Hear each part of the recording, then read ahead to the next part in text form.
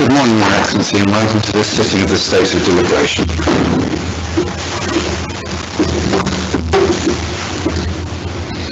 Notre Père qui es au ciel, ton nom soit sanctifié. Ton règne vienne. Ta volonté soit faite sur la terre comme au ciel. Donne-nous aujourd'hui notre pain quotidien. Et nous pardonnons nos offenses comme nous pardonnons à ceux qui nous ont offensés. Et ne nous induis en tentation, mais délivre-nous du mal. Car à toi est le règne, la puissance et la gloire au siècle des siècles. Amen.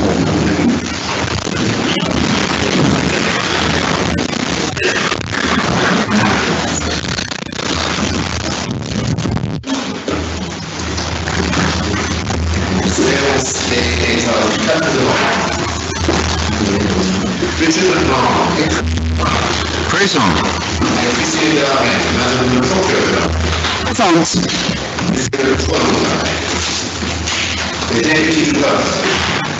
Succour. Présente. Présent. Présent. Madame Limonteur. Présente. Madame Miller. Présente. Monsieur Andrew Hammond. Présent. Madame Lily Sommer. Présence. Madame. Présente. Monsieur John Barr. Présent. Monsieur Simon Fair. Présent. Monsieur Stephen Farr. Présent.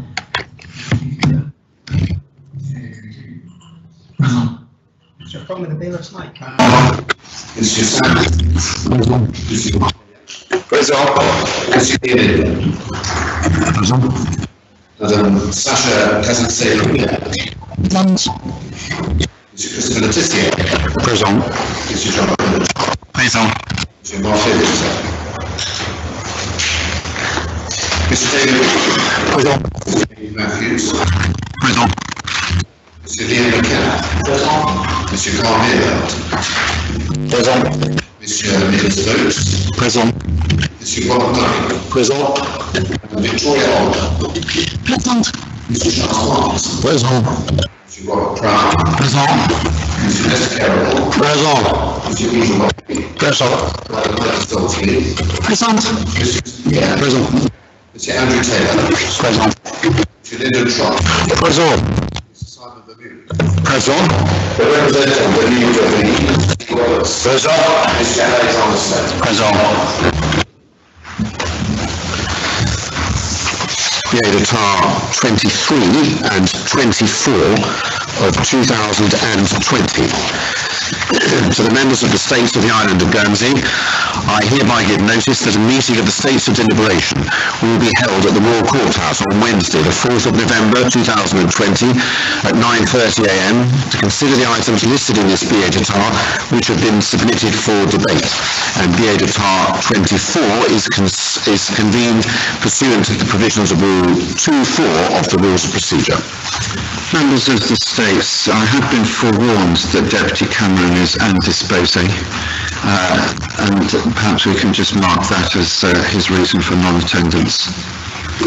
Before we turn to the business of this meeting, members of the States, a little bit of unscheduled business, which is uh, the fact that I have received representations, as was apparent uh, during the course of the election meetings, from the Civil Contingencies Authority uh, relating to the possibility of authorised absences from meetings of the States of Deliberation, which mean that a member who has an authorised absence can arrange for their vote to be cast uh, in accordance with Rule 26.3a by another member, uh, a proxy vote.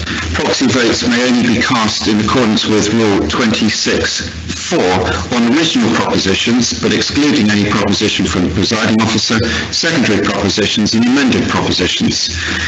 Now, all members will, I am sure, be uh, aware of the importance for the whole community of adhering to public health guidance in relation to the ongoing pandemic. And the recommendations of public health, uh, the strong recommendations are that people who are unwell stay at home and do not attend work or gatherings. And this is a form of gathering, uh, a pleasurable form of gathering, of course. And the worsening situation elsewhere, and possibly also uh, domestically from time to time uh, with people coming into the island, means that everyone has to be responsible for taking the right decision as to whether they should congregate with others. Uh, and in particular, the recommendation to me has been that elected members of the states should not attend state meetings in person if they dis- display symptoms which are consistent with a respiratory tract infection, including cold or flu-like symptoms. So, with the winter months coming, what I thought I would do now that we're in a, a phase where proxy voting can potentially be available is to indicate to all of you that there will be an authorised absence from a meeting of the States of Deliberation in accordance with paragraph 3A of Rule 26 if that non-attendance of a member uh, arises from complying with public health guidance. Um, it's only in relation to COVID-related reasons. It's not for any other reason. So if somebody is indisposed for a reason aside from that, because they are poorly in another um, situation, uh, and Deputy Cameron's absence this morning is, is, is something that I was aware of, but it wouldn't be covered by this authorised absence. And the arrangements for securing a proxy vote will be to notify the presiding officer uh, through an email to the state's greffier of a request that a named other member be able to cast a proxy vote uh, on behalf of that member, and the person who is to cast the proxy vote must confirm that they have been so asked and are ready and willing and able to do so. And a response will be given to the two members, the one who's requesting the proxy vote and the person who will be voting by way of proxy on behalf of the other member, and then that will be uh, uh, that will be able to be cast uh, thereafter during the course of that meeting. So that is the arrangements for an authorised absence. I'm delighted to see all of you here, but if any of you do display those symptoms uh, during the course of the meeting, by all means disappear. Uh, please do actually, and if you, and, and if you display those symptoms in the run-up to a meeting and you contact the uh, the presiding officer through the state's greffier as I've just described, then we'll put in place the ability for that proxy vote to be cast in accordance with Rule 26.3a. So I hope that's uh, sufficiently clear. If it's not, uh, we'll set it out for you in due course uh, when uh, when we have a moment. So the first item of business for today's meeting, members of the states, will be a statement on behalf of the Committee for Economic Development by its President on general aviation matters, and therefore I turn to Deputy Inder. Thank you, sir. Uh, sir, uh, the, the, request for this statement came from a member of the Assembly after they read a story in the Guernsey Press, and I thank him for raising it with me and other members so that I, so that I can address this appropriately here today. Members will be aware that many commercial, legal and operational matters that support government in Guernsey do often need to be addressed with proportionate confidentiality before the Assembly is directly involved. So, Mr Dominic Lazarus remains the Director of Civil Aviation and the office in Guernsey is currently being supported by Mr Ash Nicholas as his deputy and supported by a small team that supports them. The States of Guernsey does not comment on individual employment matters. The airport continues to meet all of the necessary safety and security requirements that are needed and it is fully operational, albeit within the constraints of the travel restrictions due to the COVID-19 pandemic. I'm sure that all members of the states will join me in thanking staff at the airport and harbours who have kept the essential services running. They're doing a fantastic job. So, while I am mentioning aviation matters, I would like to pick up on an issue about the state support for the Office of the Director of Civil Aviation so it can allow the continued growth of the aircraft registry. The member requesting this statement has also asked for an update on that. Members may know that the aircraft registry operates independently, but with statutory oversight from the Office of the Director of Civil Aviation. Yes, I know it gets complicated. The aircraft registry, or 2Reg, as it is branded, has been successful in registering hundreds of aircraft from all around the world and currently has 267 aircraft on its register. It returned over £375,000 in royalty payments in 2019, and despite 2020 being an unusual year, the States is still likely to receive royalty payments of around £250,000. As well as this, sir, members, a small group representing legal offices, corporate service providers and aircraft operating companies in Guernsey estimate that their business derive in excess of 1.4 million pounds per annum through 2Reg and related work only. That is upwards of 1.4 million pounds per annum back into the local economy. On top of this, the operation is based in the island, so Guernsey benefits from the income tax take on several members of 2Reg staff, as well as rent paid for dedicated offices in the airport building. Finally, sir, 2Regs provides an opportunity for growth of the general and commercial aviation sectors as we seek to drive economic recovery. In short, it is good for our economy and good for our reputation as a place to do business. Indeed, it cannot be seen as anything other than a very successful business in Guernsey.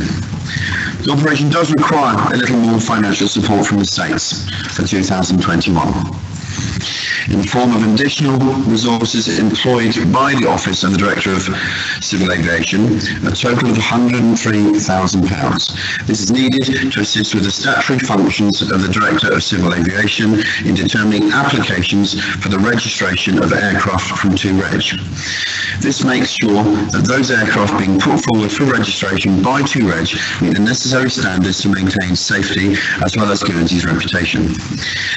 The committee is aware that the previous Policy and Resources Committee did challenge this request for a small amount of additional funding for the office. Um, though on the basis of a further business case prepared by officers with the support of the business community, it eventually conceded. So I'm pleased to report that the additional amount has now been approved and rightly so. Um, why would we not want to support such a positive business for Guernsey? The committee will support it and we will seek to grow general commercial aviation to support our economic recovery. Thank you, sir.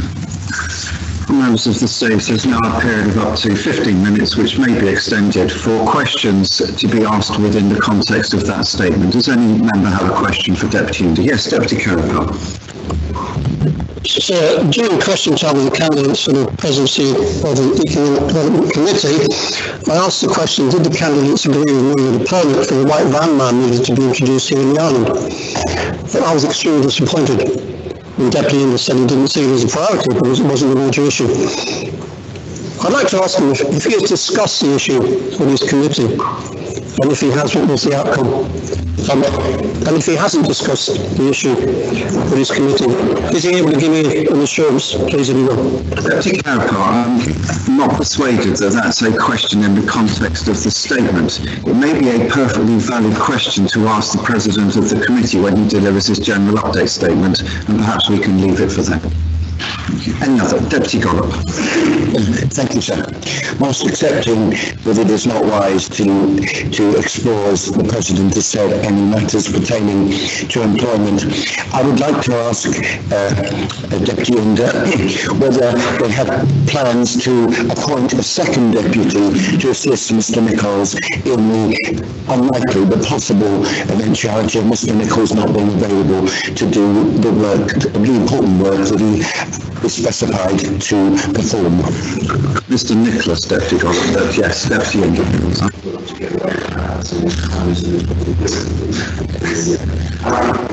So I think it's really my that uh, Mr Ashley has um, quite well in, his role, so there's no um, at this confidence about me and stuff.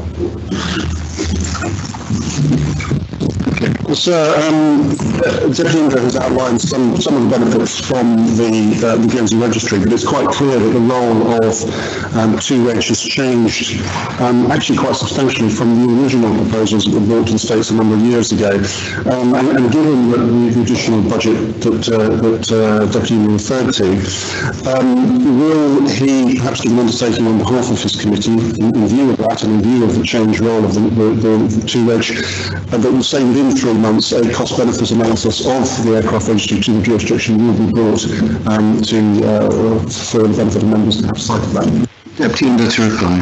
Um, uh, I don't think um, on the, the, the my presidency and given the the committee that was started by Roberts and uh, there was any stones going to be left unturned. So um, I won't commit to three months, um, but I can certainly commit to I'll, I'll get back to that, but within six, I'll, I'll say within six months, I'll, I'll, I'll get, I'll get that, best to get that six months.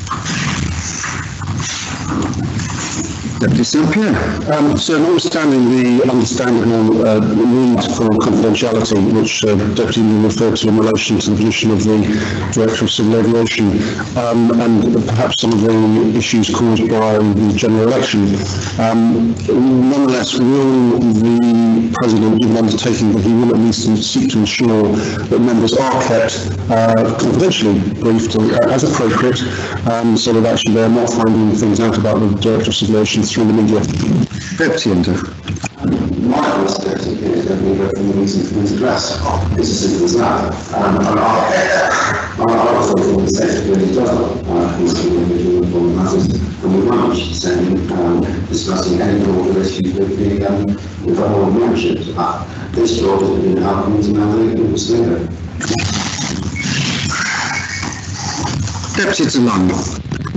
So thank you. Uh, given the uh, situation with the uh, Director of uh, Civil Aviation, can the President give assurance uh, that the marketing and growth of 2Reg will not be interrupted in any way? To reply. I think as I stated, um, I I was going to, to references Deputy, uh, some peers and branches. Uh, Deputy Branch, we do not believe anything that you read, um, from, from the Community Press. I've always explained that Mr. Dominic Matters remains the Director of Civil Aviation, um, and also is currently being supported by. Ashley Pierce and deputy, and supported by a small team, the support Senate. The State of Guernsey does not comment on individual employment matters. Um, so effect, at the moment, everything is steady as she goes.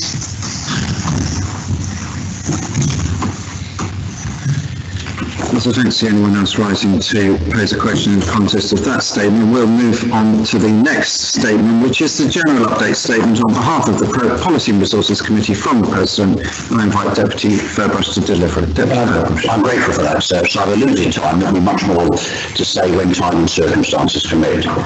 What I can say is that with a collaborative, cogent and purposeful states, much can be achieved in the next four years, eight months. What I can also say is that Policy and Resources intends to operate in a collaborative and transparent way throughout the whole of this term. There's been much talk about visions and strategies. My remarks are not to be meant to be dismissive of any of that. The vision, though, of this Policy and Resources Committee, and we believe of this space, is action. That's getting things done. My colleague Deputy Helyar pointed out to me as recently as Friday afternoon that the P&R Committee shows us having 406 pending action points. That's ridiculous. That's unachievable. That's spending resources, money and effort far too thin. We thus intend to concentrate on key issues and achievable objectives. Before I turn to that, let me say what we intend to do to be transparent. We intend to hold week, uh, monthly meetings with the presidents of various states committees. We intend to ask the presidents to come with three key aims that they would wish to see achieved and fully effected in the state's term. We also seek to break down any barriers. For example, if something is strictly within the mandate of the P&R, but other committees or presidents have contributions to make, they're welcome. Equally, we do not expect them to be, and in fact, are confident that they will not be territorial in respect of their own mandates. We as a committee also intend to be open to the public. We intend to have periodic open meetings with the public. We would seek to have the next meetings every six months, or if there's something more urgent, more regularly. We would hope to have our first meeting, and it may be a drop-in sometime before Christmas. We also appreciate that not everybody in a committee can do everything. I'm very fortunate that I have four able colleagues in whom I repose complete confidence. There are issues that we want to address in three months, six months, one year, and throughout the term. Some matters will have to be able to be and will be able to be addressed more quickly than others.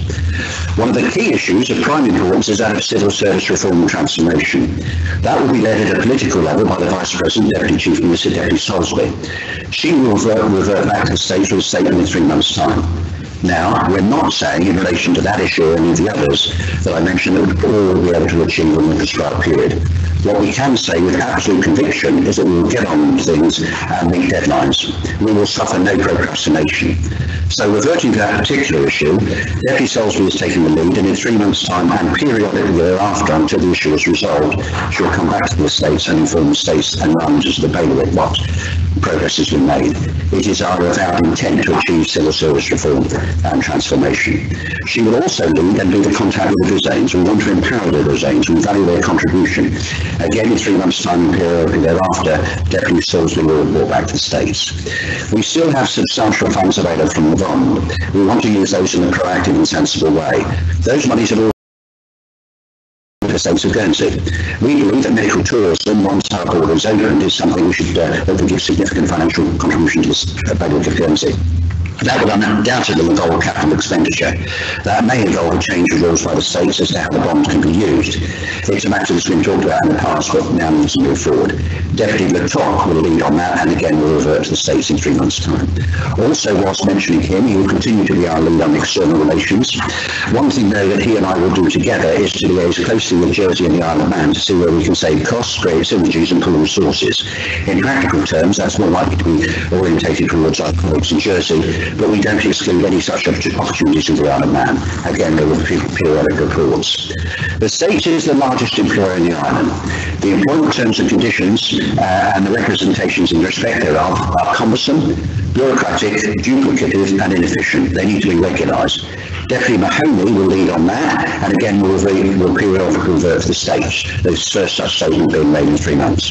He will also lead in relation to state property. The state has much property. It's all some of it's not well utilised. It needs to be rationalised. There needs to be a political lead to take that forward, and Deputy Mahoney will be that person. What we intend to do, and again in three months, is draw up a list of practical capital projects that could be advanced in early course. We will be careful not to overheat the construction industry. At the moment, we know it's very difficult to get a tradesperson, but that will pass, and there are very few long-term building contracts which will sustain our construction industry going forward. We will come back with a capital programme that could well include matters that are already uh, included in the capital programme, which, which may need to be accelerated, such as Hamlet Slip, Fairmake Rural Council and Steps, just to name a few. We will have a proper lawful emphasis in favour of Guernsey businesses. We want the work to be carried out by Guernsey companies and a Guernsey work, workforce and for that money to recycle in our economy. Our main industry is that of the finance sector, which has rightly been said to compose so very many disparate and independent units. We have great confidence in Guernsey Finance, and despite it being so well led, it has been underfinanced for a considerable period of time.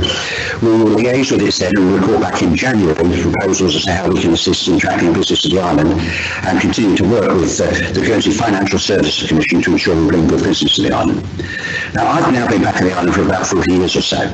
I was surprised when I came back how inadequate and old-fashioned our insolvency and bankruptcy laws were then. There's been no improvement in the last 40 years. There will be now. Deputy Kelly will take control of that and we'll report back again within three months with concrete proposals. That's, this is both an aid to the finance sector and those individuals in our society who've been struggling with financial debt which is unmanageable. I should have also said that Deputy Helyar will be the lead in relation to Guernsey finance and indeed the finance sector generally. And also importantly, he will lead on our relationship with our uh, cousins and friends in Alderney and Sark. We will be announcing other initiatives in due course, but there's one I can announce now. We will seek to establish a Guernsey investment body, or such other suitable terminology, which will be focused, focused on implementing a sovereign wealth fund approach to our various investment portfolios. In the first instance, we will ask as a subcommittee or body appointed by P&R Deputy St Pierre to chair the same. He will have such resources as he needs. The idea will be to create an investment authority. I'm very grateful to him and he's already indicated he's willing to take on and lead that task. Indeed, it's a waste of his talents not to use the same full. It's like having Gareth Bale on the substitute bench and not calling him on. Deputy St Pierre has confirmed that he believes that he could bring something positive back to the States in the next three months. This could be a real game changer. changer. It could be something that will stand us uh, and the bailiwick in good stead for 50 years. Deputy Henry is going to be very busy because he's also agreed to lead, I'm sure he'll do- so in a purposeful way, the considerations of the development enhancements of Eastern Seafront. Affordable housing has been difficult in this island for so many years. Also, town needs to be revitalised. There are too many empty spaces above shops where people could live. We need to engage with the Development and Planning Authority. We need to consider developments of places such as Leale's Yard and others. In our view, the leader in respect of that should be the Guernsey Housing Association. We will be making early contact with its able chief executive, again, report back to the States as soon as possible. Uh, we will liaise with Employment and Social Security. I will take P&R's lead on that. We're also going to address the open market in a constructive way and evaluate. We'll bring proposals to repeal, amend or change some of the restrictions that been put on that sector recently. Again, concrete proposals will brought back to the States in the next two to three months. We also need an up-to-date air and sea connectivity strategy. I will lead on that and I'll be in active discussions with the Presidents of Economic Development and the STSB. Again, I will come back to the States with uh, a report in three months. I'll also be leading, and this overlaps with the previous matter in respect of new, new tourist accommodation strategy. There are too many hotels, there are too many unused, empty hotels, I should say. There are too many unused hotels that are never going to return to the industry. I understand economic development is accelerating an accommodation strategy that will support this. We will therefore work closely with the President of that committee and the DPA. We need practical action. I will take the lead on that from P&R revert back to the States in the next three months. We also need to give other assistance to opening up the economy. We'll be looking at any unnecessary regulation. We will be seeking an urgent review of the population management regime. I will from P&R lead on that. I'll be liaising with the Committee President of Home Affairs. Again, I'll report back promptly. I've not left digital to the end on purpose. What we can do in relation to broadband and the digital industry and beyond is very important. We'll be setting out a broadband working group and again reverting to the States in the first quarter of next year and that again will be headed by Deputy Helyar and he will liaise closely with the President of Economic Development. We also need to get our laws enacted I from start to finish much more quickly than previously. We will be seeking to have royal assent given by His Excellency uh, on the majority of our projects. This will be led by Deputy Intertok and again we'll report back uh, on a timely basis. We'll be seeking a review of the Guernsey structure of, of, government. That will be led again by the Vice President, Deputy Soulsby. Here we're seeking uh, evolution, not revolution. We're seeking to make the government more effective. Again, she'll report back promptly. There are matters that we intend to address, and we will, as I say, be open and transparent and speaking regularly to this Assembly and the people of the bailiwick. If I've omitted topics and of undoubted importance, that does not mean they will not be considered. This is our starting point. We want to achieve things. Like conclude said, said, all of that said, we will be financially prudent. We will ensure our borders are safe. We will protect the people of the bailiwick and seek to enhance and improve the quality of their lives. Thank you very much. Now, members of the States, the opportunity arises now for a period of not exceeding 20 minutes, although if we're having fun, that can be extended at, my discretion, um, to ask questions of the President on any matter within the mandate of the committee. So this is different this time. It's not within the context of the statement, it's within the mandate of the committee. You, you've had a flavour of that when doing the elections for presidential uh, candidates. Uh, and the only caveat that I will mention is that when a member asks a question, uh, the president can decline to answer it if, in his or her opinion, his opinion here, uh, any answer might be inaccurate or misleading, in which case there will usually be a written response uh, provided thereafter. So we've got up to 20 minutes of questions uh, to the president. Connell. Um, the President has outlined numerous um, strong work streams that, that are perhaps additional to what was the previous uh, position of the committee. Uh, but he also identified, was it 407 uh, work streams? Which work streams are going to be abandoned given the extraordinary breadth of the work that the new committee is going to undertake? I should have said that the questions have to be no longer than a minute and the replies have to be no longer than a minute and a half. And if you're going to be listing 400 particular work streams, it might take a while. eh? But Deputy, Deputy Ferbrache to reply. I can reply hopefully in a few seconds, sir. I'm not going to go through and say 375 are going to be abandoned because that would be the subject of due consideration. What I have said and what I repeat is that there are too many uh, and we're going to have to concentrate on the key issues. Deputy Kazantseva Miller. Thank you, sir. Um, throughout the election and and, and also in, uh, in I believe in the opening speeches as well of the of, of the chief minister, we we did talk about um, energy transition and the climate action plans as being an opportunity to invest in the green and potentially blue economies. Um, in in that quote, uh, chief minister has mentioned uh, uh, priorities in that space. I would like to clarify whether that is not a priority any longer. What your views on that are? Thank you. Deputy. That's a very fair question. I only had 10 minutes and I wanted to say certain things, but uh, what the deputy raises, and I'm not going to try to pronounce name, I'll get used to it eventually, I'm sure she'll apologise, for five or six times I get it wrong, is absolutely right. Those are in our considerations. We'll also be liaising with our other colleagues on other committees in relation to such matters. But the point she makes is, is clear. She's pushing it, so Alderney Representative Smith. Thank you, sir. Could I just ask if there's any updates with the PSO regarding the Alderney Air links? Thank you. Are there any updates in the PSO regarding the Autumn routes? Yes, sir. Deputy Fergus. Yes, there are. Uh, I'm grateful to all the representatives. So, uh, P&R has recently written to Aurigny in the last week or so, uh, and we believe, I can't say we've had a response yet, and I I'm not implying any uh, unreasonable delay on their part, I hasten to add, that uh, if that's accepted, that will resolve the issue. Uh, all I can say at the moment is we've sent a letter to them. They've got a brand new chief executive uh, who I think started work this week. We do expect a reply back soon. Deputy Dyke. Um, could, could I ask if Deputy Ferbrache's committee will be considering shortly a partial hiring freeze on the civil service? Deputy Ferbrache.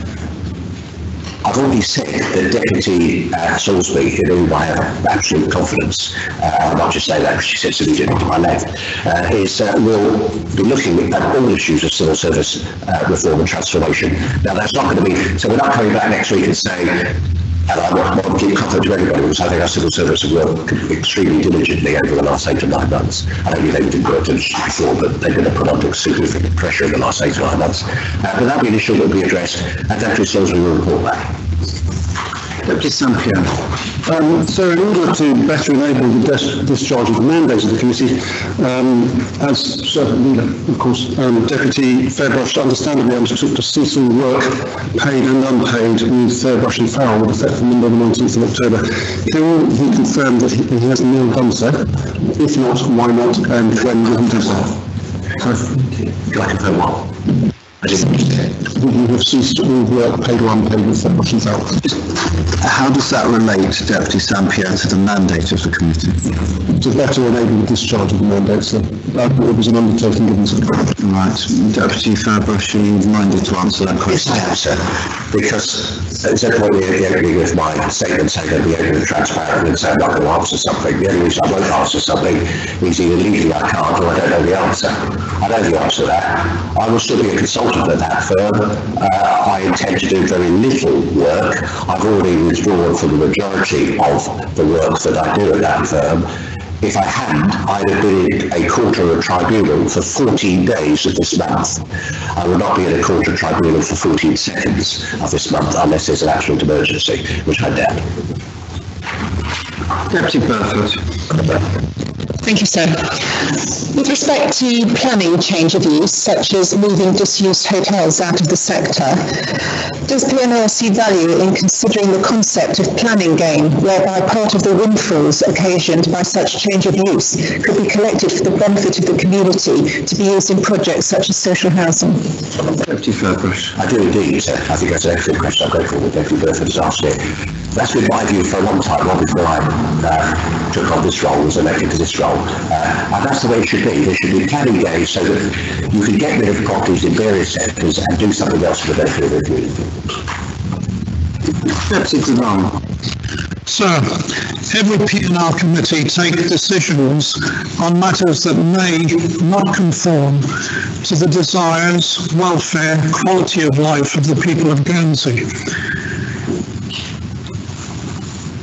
Will the President um, confirm that the new P&R uh, will um, consider and look at measures taken in the last term which have had a negative impact on the growth and the need of the citizens of this island? Deputy Ferbrache. Uh, I can answer that in very few words, indeed we will. Deputy Sampion. So, uh, Deputy very much in the statement referred to bringing forward some practical capital projects. Um, could you perhaps advise when it is intended to next update the state's more general on the state's health failure? Uh, I I have to liaise with my colleagues, but I would anticipate it should be in three months' time. If it could be before, then we will, but I would have thought we can have a lot to do in three months' time, because I've been promising everybody's going to make lots of statements, but with the lead of, uh, of the presiding officer, we might get a, a, a bit of an extension of time in relation to that. I don't mean in relation to the three months, I mean the time that we speak, uh, but in three months. Deputy Gollop. Deputy Councillor uh, Miller referred to uh, environment, environmental sustainability. In the speech we've had outlined, we haven't heard much about social policy coordination or promotion beyond housing. Is that an, is that an important part interlinked with the economy of the of the new committee's thinking? Deputy Ferbrache. Yes, it is. One of the things I mentioned was affordable housing, which I think one of the things people need uh, if you want a good life is, is a decent home.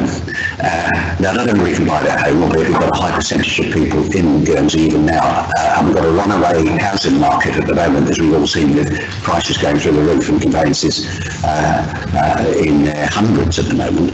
Uh, but yes, we intend to liaise closely with our colleague, Deputy Roffey, on all such matters.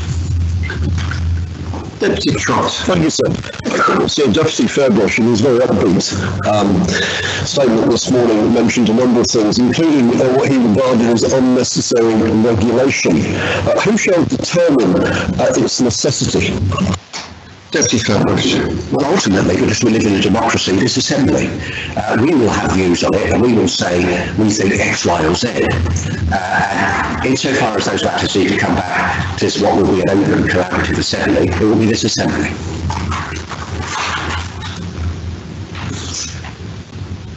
Deputy Kazantseva Miller. Thank you, sir. Um, the previous assembly approved the Revive and Thrive uh, plan and the, the, the, three pillars of the sustainable economy, community plan and health plans.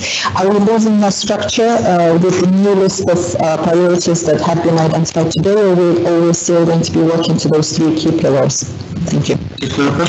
Yes, without necessarily being restricted to that document or doing everything that is in that document, which promises everything and but we need to achieve things. But yes, those are still the key pillars of any basic democratic, decent society such as ours. Deputy Trott. So Deputy Ferbrache uh, mentioned in relation to medical tourism uh, changes to the rules uh, uh, regarding the bond, which of course require a secure income stream. Can he confirm that any changes that he proposes will uh, ensure that there is a secure income stream in order that the bond uh, remains covered in the manner to which it is today? Deputy Ferbrache. At the moment, yes, and I, I don't mean any equivocation in to that, because that bond has got to be repaid back in X number of years, uh, and it's over 300 million pounds, and the interest rate, which was a good one at the time, is not such a good one now. Uh, so, uh, of course, we will seek to achieve an income, because what we need to bring in is income into the bailiwick, and the idea is medical tourism, i.e. an income-producing asset. We're not going to go build a seawall with that money. Deputy Roffey. Will Deputy Ferbrache confirm that any pursuit of medical tourism is done in such a way as it is not allowed in any way conceivably to further the delays being suffered by local people under the MSG contract? Deputy Ferbrache. Well, exactly, the MSG contract must be uh, confirmed and it must be met. Uh, I'm happy to give that confirmation. Deputy Dillon. Thank you, sir. Given the pandemic, sir, how uh, does the President intend to strengthen the position of retail and hospitality on the High Street and in Guernsey as a whole? Deputy Ferbrache. So, Policy Resources has met regularly since uh, our brief tenure in office. We intend to discuss such matters, uh, relief matters, etc. We're going to have further advice in our next meeting, which is due on Tuesday.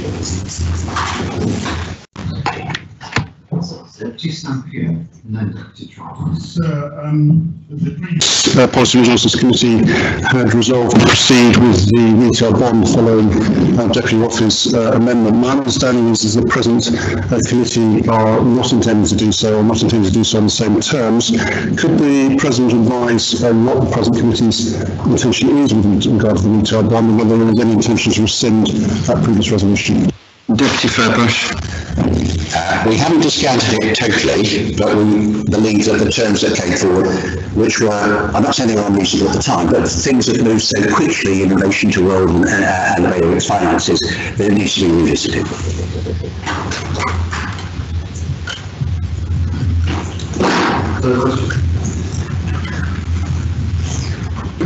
Ordinary Representative Roberts. Thank you, sir. The President of P&R mentioned three monthly meetings with the relevant committees. Would, he, um, would this apply to regular meetings with Alderney? Deputy Ferbrache. Probably not, but I think only uh, Representative Roberts, as usual, raises a sensible point. And there should be regular meetings with Alderney. As I've said, my able colleague Deputy Helyar, I know, has got a particular interest in Alderney and Sark. He will ensure that, that there are regular contacts with Alderney and Sark at uh, regular meetings. I'm not going to tell him, because I'd be presumptuous of me, how he should do that job, but I'm sure he'll do it well. Deputy Trott. Thank you, sir. Deputy Ferbrache mentioned uh, Guernsey Finance, that he mentioned is underfunding. Uh, can he uh, advise the Assembly whether it would be his intention to make specific budget recommendations in a positive way towards that important entity, or, or might we need to wait a little longer uh, to hear what his recommendations will be? Deputy Ferbrache. Well, we will be beyond the budget, because I said it's in January. And what I would like to, Deputy Helyar in particular, but what the P&R would like to do is sit down with Deputy Trott in his capacity as head of, uh, of Finance uh, and other people and come up with a discussion as to what funds are needed, how they can be rationalised, how they can be properly spent. Deputy Rothman. Thank you, sir. I realise it's early days in P&R and have decided everything yet, but I wondered if Deputy Ferbrache could give an indication of how he perceives the post-war agreement with Alderney being reviewed. It was in training. Is it going to continue, and if so, how? Deputy Ferbrache.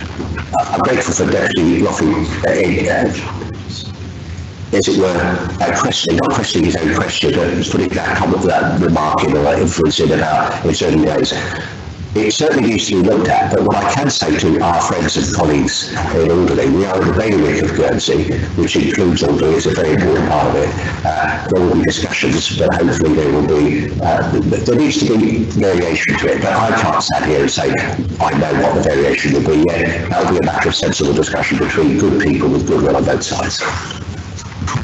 Deputy Gollop. Thank you, sir.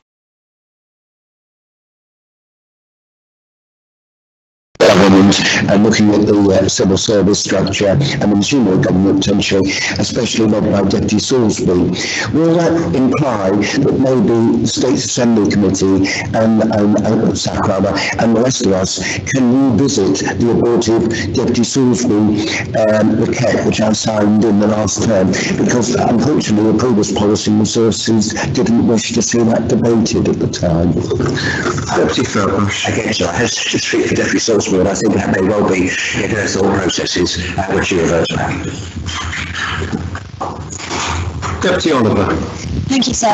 Um, I, I do understand you may not be uh, uh, able to answer this question, but um, the last uh, P&R ha- was investing in impact investment. Will that be something that this P&R will continue? Deputy Ferbrache. Well, again, something that we'll consider. Uh, I'm not going to give an absolute commitment on everything uh, today, but it will be considered. And again, we're not saying, and my remarks are I made when I made my speech because you're time limited, uh, so I spoke even more quickly than I normally do to try and get through it, uh, in relation to that, is that there are other issues. Uh, we're open, we're transparent, and we'll discuss anything with anybody. Deputy Kazantseva Miller. Thank you, sir. Uh, this month, the zone elections are taking place, and with the island-wide voting, the role has obviously slightly slightly changed. Is it? Do you feel there's? Uh, uh, does the Chief feel there's an opportunity for a vision of of the role of the Douzaine and in improving the democratic process and liaising with the parishioners? Thank you. Deputy Ferbrache. Again, the Douzaine has served this, this for centuries with good people, and they're still serving, and they still do very important things for free, and they do it very well. The liaison with that will be, as I've already said, Deputy Soulsby, we've got ideas, and she's got ideas already, I know. The have got ideas, there'll be discussions between the two of them. So the message we've got to go out uh, beyond uh, this room to the Douzaines is that we really do value your contributions, and we, uh, uh, we expect to work well with you in the future. Deputy Trott. Last one from me, sir. Uh, Deputy Ferbrache uh, said um, uh, boldly he wants to get on with things and meet deadlines. So I'd like to ask him, in three months' time, uh, at the end of the 100-day period, um, what will success look like? What sort of things will he have done, and how can we measure him against that? Deputy Ferbrache. Well, I think it'll be measured by the contributions made equally by my colleagues who I've uh, we've divided up, if I can use that phrase elegantly, uh, various tasks between us. I think in fact, back and say we've made progress. Rome wasn't built in a day, you know, it was a long time. You know, uh, God recorded to some people, a lot of those who might have voted for uh, President Trump last night in certain states, uh, might have thought the world was made in seven days. It actually took a bit longer than that. Uh, but we'll do, I think the success will be that this assembly and the people of the Bay will, appreciate that we've got on with what we say we've got on with. Deputy Fowler. Uh, so, would the President please uh, expand a little on the nature of the public meeting before Christmas? Uh, will that be an opportunity for the public to listen in to deliberations by the P&R members, or will it be more of a surgery type arrangement? Thank you. Deputy Ferbrache. We haven't actually decided. I think probably because of time, it'll be a drop-in. The initial meeting will be a drop-in. We'll somewhere in town, for example, well advertised, they can come and see the members of P&R and, and discuss issues with us. But in due course, there will be, whether it's St James or the Cotils or wherever it may be, the five of us will be on a stage, we'll give a presentation, we'll invite people's questions and comments.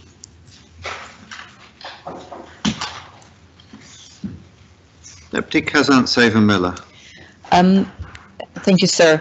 Um, I believe, if I believe correctly, we will need to design or define the future for Guernsey plan or whatever name uh, Chief Minister might want to put uh, to it. And uh, with the previous uh, terms, there was, I believe, a wide uh, a process in, of consultation and engagement with business bodies and also community. Does it feel we, we have such a long list of priorities that's already designed? Does it does it mean we don't need that process and we've moved beyond consultation and we'll just get on with doing things? Or will there be an element of consultative process for the future for Guernsey plan in this term? Thank you. Deputy Ferbrache. Well, there has to be consultation because the idea is you want to take people with you. You want people to uh, at least feel they've had a proper listening to, even if you eventually come to a decision, because that's what P&R has got to do. That's what this assembly's got to go, come to a decision. Uh, you can't please everybody all the time. But we must consult. But there comes a time when there's enough consultation and you've got to make a decision.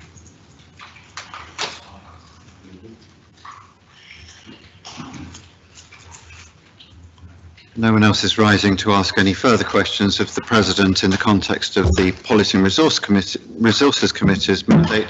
So we'll move to the next general update statement, the second one, and this is on behalf of the Committee for Economic Development, and I invite the President of the Committee, Deputy Inder, to deliver that. Deputy Inder, please. Uh, thank you, sir. Excuse me. Um, sir, um, I'm grateful to the State Assembly for putting its confidence in the current members of the Committee for Economic Development to play its part in the island's recovery. However, as I said in the Assembly on the 9th of November, this will be the state's wide effort, and later in my speech I will come to how we will need to work with all of the new committees. Under Deputies Ferbrache and Parkinson, during the last term, the committee started the process of addressing the challenges for future prosperity, digital connectivity and infrastructure, our competitive offer as a place to do business, and how to promote what how to promote that offer. We will be picking up from where they left off, but will act with a greater sense of urgency. The current committee brings a diverse set of skills and experience to the table, and the committee's responsibilities will be roughly carved up along the following lines.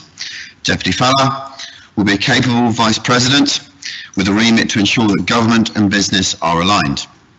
Deputy Moakes will provide leadership on the committee's work with the finance sector, ensuring that we understand the opportunities for growth that need government action. Deputy Kazantseva Miller will lead on digital business, entrepreneurship and skills, working closely with the Digital Greenhouse and other partners to promote entrepreneurship and to transform our skills base on the island. And Deputy Vermeulen will lead on tourism and industry and will work with me on the recovery of our visitor economy. On that challenge, we're about to begin the process of overhauling how we market ourselves as a visitor destination, to set out a plan for investment in our tourism product and an accommodation strategy that ensures that we have appropriate bed stock and enable closed hotels to change their use to the benefit of the wider economy. We need to think differently in how we market ourselves as a destination and whether this is the time to transform Visit Guernsey into a public-private partnership or form part of some form of LBG. To give an example of how we would need to work with other committees, we would like a close relationship with both Policy and Resources, Environment and Infrastructure, and the Development and Planning Authority. We have some strong ideas on how future tourism offering might better utilise heritage sites, coastal kiosks, and without access to either property services and or the DPA, we can't move forward. In addition, that committee has listened to the visitor economy sector. We will, as part of the recovery strategy, be recommending to the state significant investment in Guernsey's tourism product and enhancing the island's visitor accommodation. We have got to maximise the reasons why people come here. Victor Hugo attractions, our World War II heritage, and a wide range of accommodation, including camping and self-catering, excuse me, including camping and self-catering, will help to drive that. And of course, in a short-term plan to bring back visitors to the island in any new season will mean that Visit Guernsey and Aurigny could and should work closer together.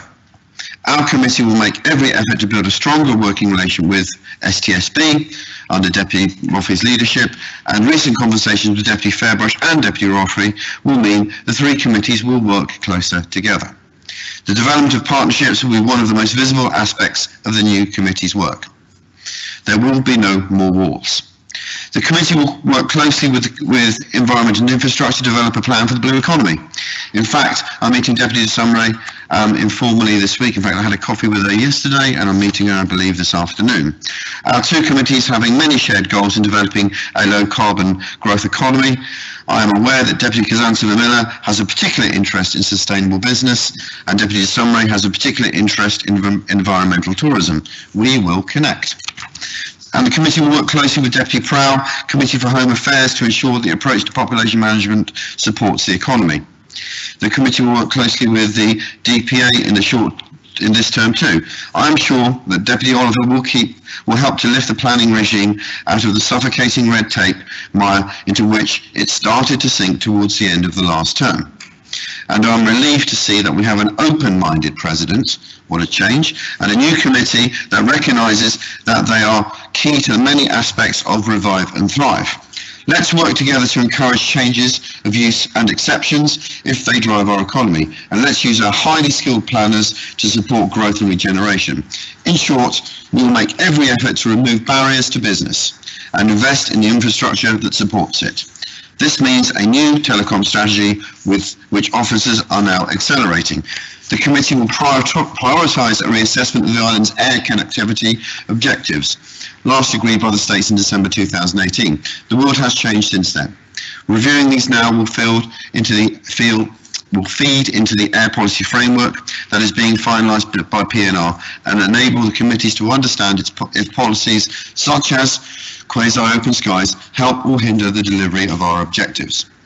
So the engine of our economy is the finance sector and it, and it is world-class. Funds, fiduciary, insurance and banking sectors that have a track record of quality, stability and innovation. In meeting the representatives of the finance sector during the course of the election, they asked for a number of things. That we stay competitive, we invest in transport and digital connectivity, we reduce red tape and we invest in promotion. We need to support Guernsey Finance and its new leadership in marketing what Guernsey has to offer and a proposal for increased funding will be with the committee soon. Of course, it is not just Guernsey Finance that needs fresh impetus to aid recovery.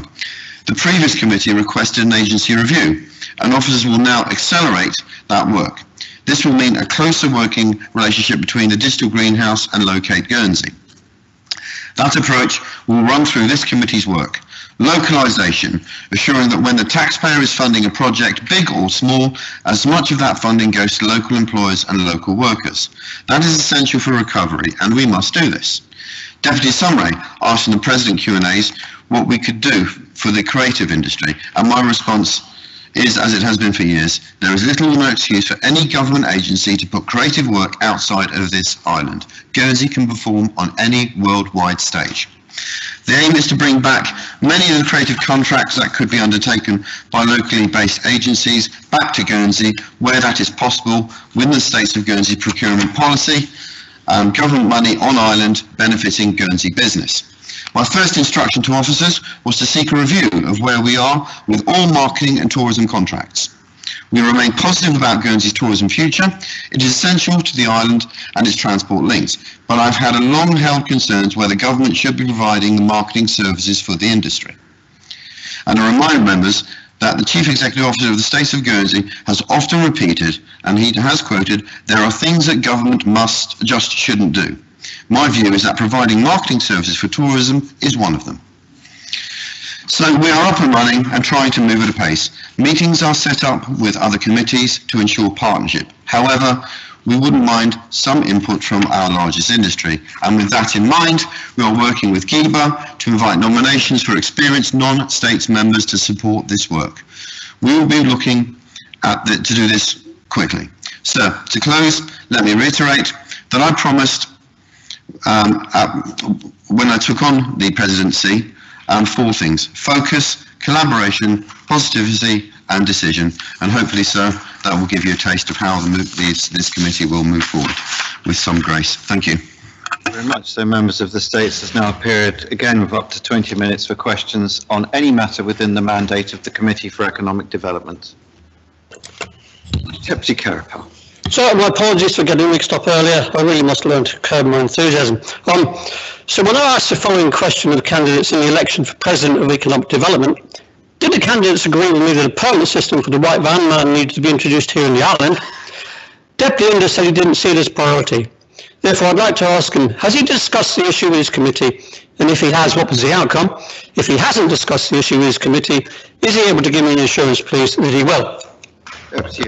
So my my view hasn't changed from um, a couple of weeks ago, and if I and I think correctly, um, the other candidate, uh, Deputy Parkinson, agreed. Um, to answer you, his his uh, question directly, right now there is no intention um, to bring that matter to to the committee. But if um, Deputy uh, Queripel wants to write to the committee and, and make that argument, I'm quite sure the committee will reconsider it. But if he's asking me directly as president, I will not be raising it with the committee, but it's absolutely within his right to raise that himself with committee and write to the committee, and we will give it consideration. Deputy Dudley Owen. Thank you, sir, and I thank the President um, of the Committee for Economic Development for his update, but I am disappointed at a notable omission. Um, what synergies does the President uh, see with the Committee for in uh, education, sport and culture, given that the committee, this committee takes care of our future workforce and our heritage assets and culture, vital components of the economy. Deputy Inder. Um, uh, Deputy Dudley Owen, as a previous member, was always keen promoting two areas, it was, or three areas in fact, entrepreneurship, skills and digital. And I think she will, will agree with me that there was some resistance in that committee to um, work with education, um, given the makeup of the previous committee. Um, now, the skills development is, is effectively combining the digital skills program with the digital greenhouse, a new offering from Agilisys as part of the Smart Guernsey um, and Smart Guernsey Economic Development Programme. But what I will do um, is I will try and find a way, along with our committee, with my committee's agreement, to tie um, education, sport and culture into that in, in, in some way. Deputy Delisle. So the President um, indicated that economic development was to pick up where the former committee left off. Uh, some argue the need to focus given the pandemic um, and as the world and tourism is at a different place. What areas can in reality come under focus given lockdown all around us? Deputy Inder. Um, this will all end one day, and we do have to think about a better tomorrow. It's all a fairly miserable place for the whole of Europe to be in at the moment. But if we sit on our shackles, um, sitting on our, our, I don't know, I don't know, I don't know how to express this, but um, we sit back hoping something's going to happen. I can tell you now, hope always will, will get you killed. We need, we need a plan, and we need a positive plan. So what we will work on is effectively a, a, a period where the, the pandemic will finish. And so we have to build towards um, the uh, looking at a brighter future for the visitor economy because it's just not about the the hotels and hostelries and the events. I will remind members it's actually about transport and air links because without the tourism economy, um, some of the air and sea links will be in a, in a worse place than they, than they, than they are now. Deputy Parkinson. So, um, can the President uh, tell us where the committee has got to with the work undertaken by the last committee in respect of an international university presence on Guernsey? I think Ogdenshire had nearly completed their report. Deputy Inder. Uh, I, I, can do so. Um, we've had uh, three meetings. One of them was procedural. Two of them were um, induction, and our next meeting, I think, is in is in two weeks' time. I don't believe the Oxentia report is on that. Um, is, is on uh, that, that agenda at the moment, but I only saw it la last night. Um, we've got a number of op options, and I know um, uh, Deputy Parkinson has worked on it for years. We've got a number of options. When it comes to us, we will give it great consideration. If it looks like it's um, it's something that we that, that's good to go, obviously the committee will bring a policy letter to the states. Another option is just to stop the project if we're not happy with it. Actually, one of the other options is to bring a green paper to the states and get some direction um, from uh, the states where they want to go go with it. But but part of me um, would like to include education, sport, and culture in some of those uh, considerations later on and see, see what their their view in it. So we have a number of options. So to answer his um, uh, question directly, right now, having only had uh, uh, three three meetings, the Oxentia report has not been on the table or on the agenda. Deputy Gollop. Yeah. Yesterday we heard the disappointing news linked to STSB actually, uh, that the that the post office in Smith Street will close next year. That that is part of maybe a trend of declining retail and customer service in St Peter Port. What retail strategy or economic development working on to reignite town centres? I think in my um, pitch for the presidency, I, I, did talk about having some kind of residence strategy. Um, Deputy Ferbrache has, has touched on um, getting more people living in town. We either by the private sector, I think you mentioned the uh, Guernsey Housing Association. It is absolutely key, and I think that's the big thing that has been missed in all the conversations about retail strategy is the resident strategy. The more people living in town, as touched on by Deputy Le Tocq, I remember a couple of states meetings uh, uh, ago, is the more people you get into town, the more vibrant you will have, um, have in the town centre. And I think that's where everything starts. Get people living in town first. Deputy St-Pierre. So, um, given uh, Deputy Ferbrache's previous comments and his statement around the need for fiscal restraint, in order to find the additional funds for Guernsey finance, and given Deputy Inder's views in relation to Visit Guernsey, does uh, Deputy Inder see it as being uh, a substantial um, uh, issue of reprioritising the existing budget of the Committee for Economic Development from uh, the visit, visit Guernsey to um, to Guernsey Finance. Is that, in essence, how additional funds are going to be found? Deputy uh, well, we, we, we, as uh, Deputy St um, pointed out, we've only got a six million pound budget. Of 2.6 of it is the Visit Guernsey um, account. Um, In short, um, we, we, I've spoken to Mr. Uh, Pleasant recently. Um, um, he is writing to us. we are expecting uh, a report to him, at least a draft report by the middle of November. I'm expecting a sort of fatted out report by the end of November. And to answer his question directly, we don't have the budget because we, we just have a very small budget. So it will be a pitch for extra money from Policy and Resources and hopefully we'll get some support from that. Deputy Trott. So, uh, additional funding for the promotion and marketing of our major industry through Guernsey Finance is most welcome, uh, and I continue uh, to give such initiative my full support.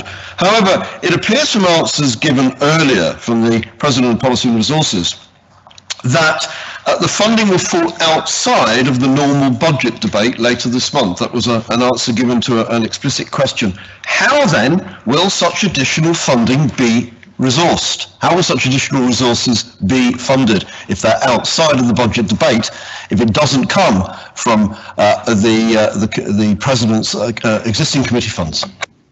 Deputy Inder. Mm, um, we've got a number of pots uh, rattling around. Hopefully some of them will actually be reduced, but I think we've got a future Guernsey fund. Um, and ultimately, I, I, th I, think there are exceptions, um, and I, I, honestly think um, the, the lack of uh, lack of um, investment we put into Guernsey Finance is one of them. Is that when we recognise it, um, I, I, I, don't think there's a there's a there's a reason that I shouldn't make the um, uh, make the argument to Policy and Resources with their help, and if not, we'll make it through the um, uh, make it through this House. Deputy Oliver. Thank you, sir. Um, both the president of P&R and now Economic Development has said they need a change in the visitor accommodation. Um, DPA has been waiting for a visitor accommodation report. Will that actually materialise? Yes, it will do. Oh, oh sorry, I beg pardon. Yes, yes, it will do. Um, one of the things that we have done in between our three meetings of uh, procedural and two induction is uh, give instruction to officers to start looking at an, an accommodation strategy. And I think we said, and, and, and it, I won't mislead, but I think we said we wanted it um, within within six months. Deputy St-Pierre. Sir, is the um, redevelopment of Leale's Yard a priority for the Committee for Economic Development? Uh, and if so, what role will the committee play in achieving that? Deputy Inder. Um,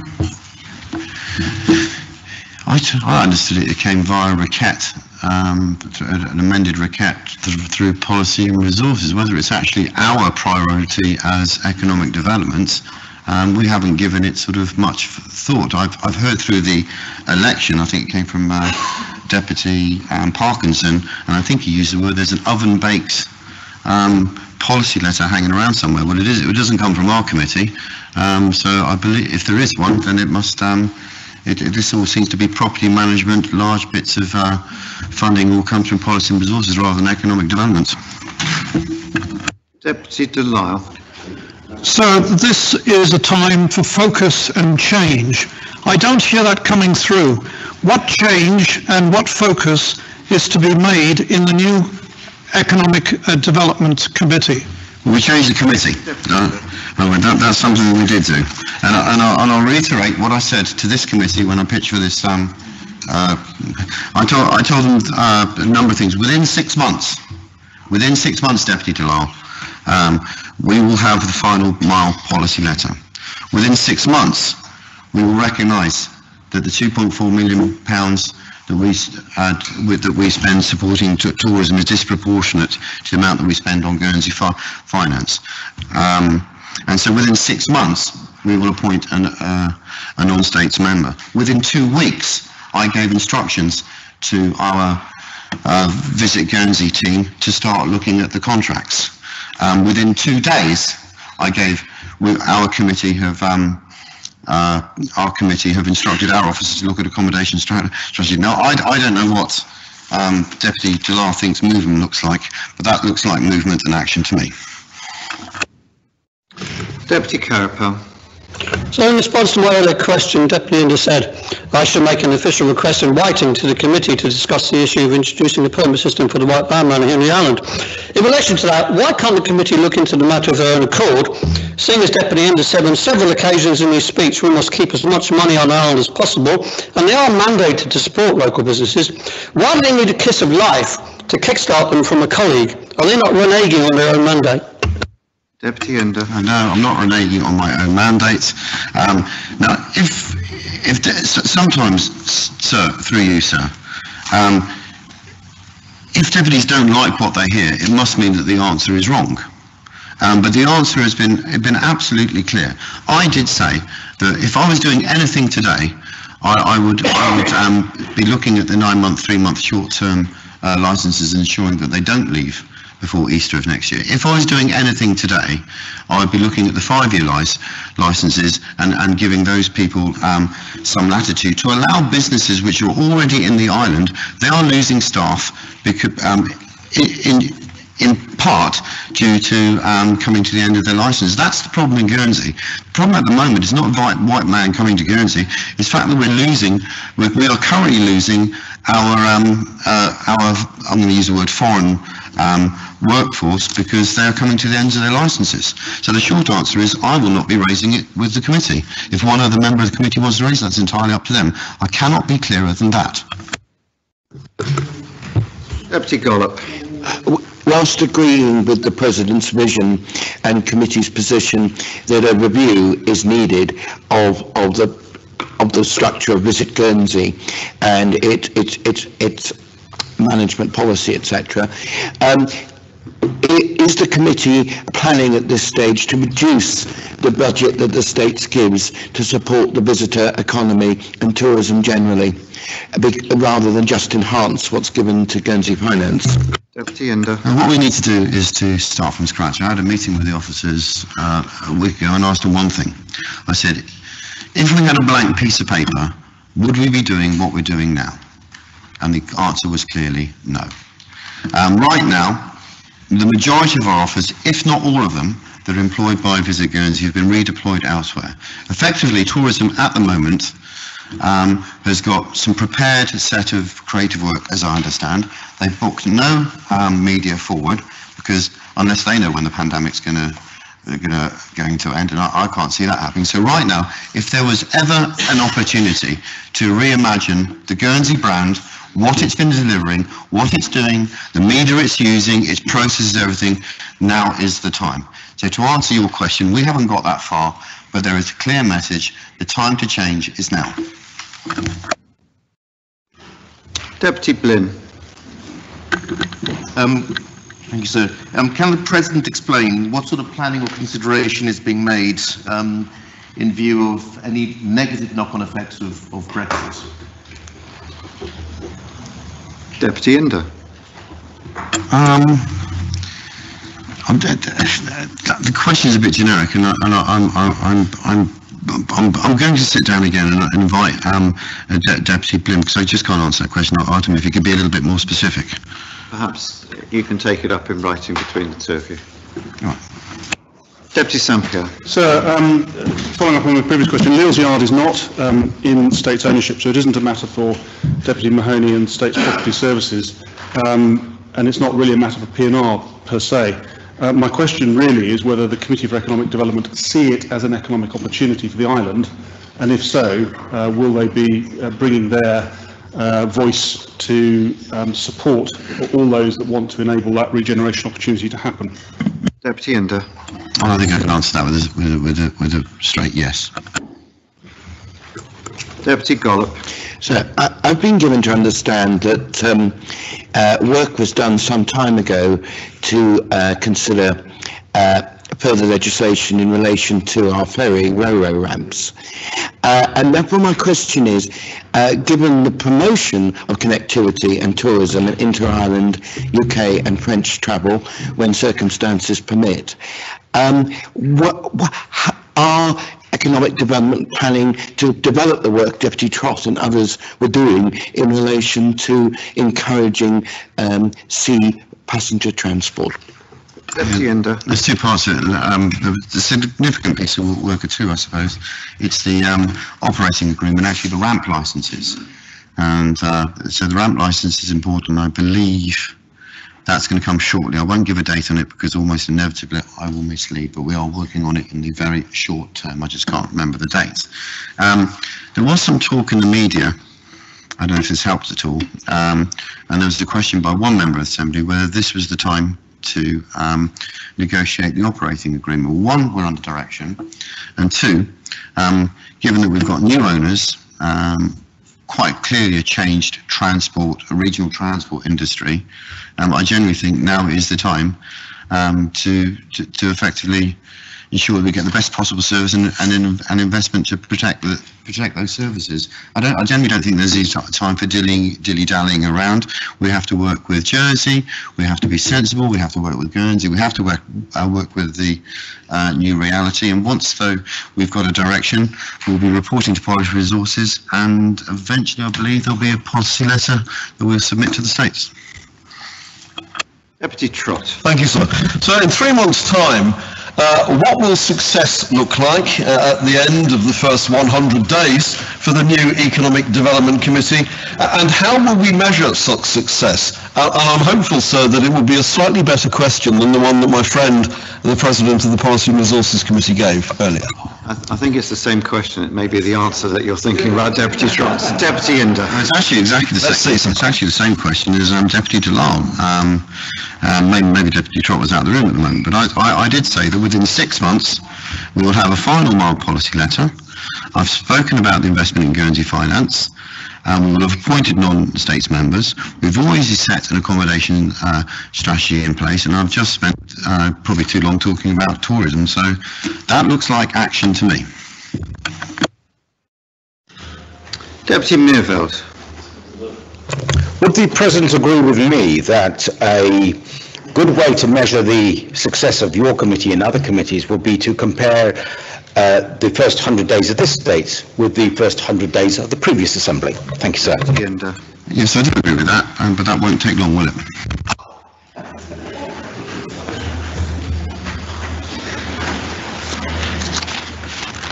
Deputy Blin.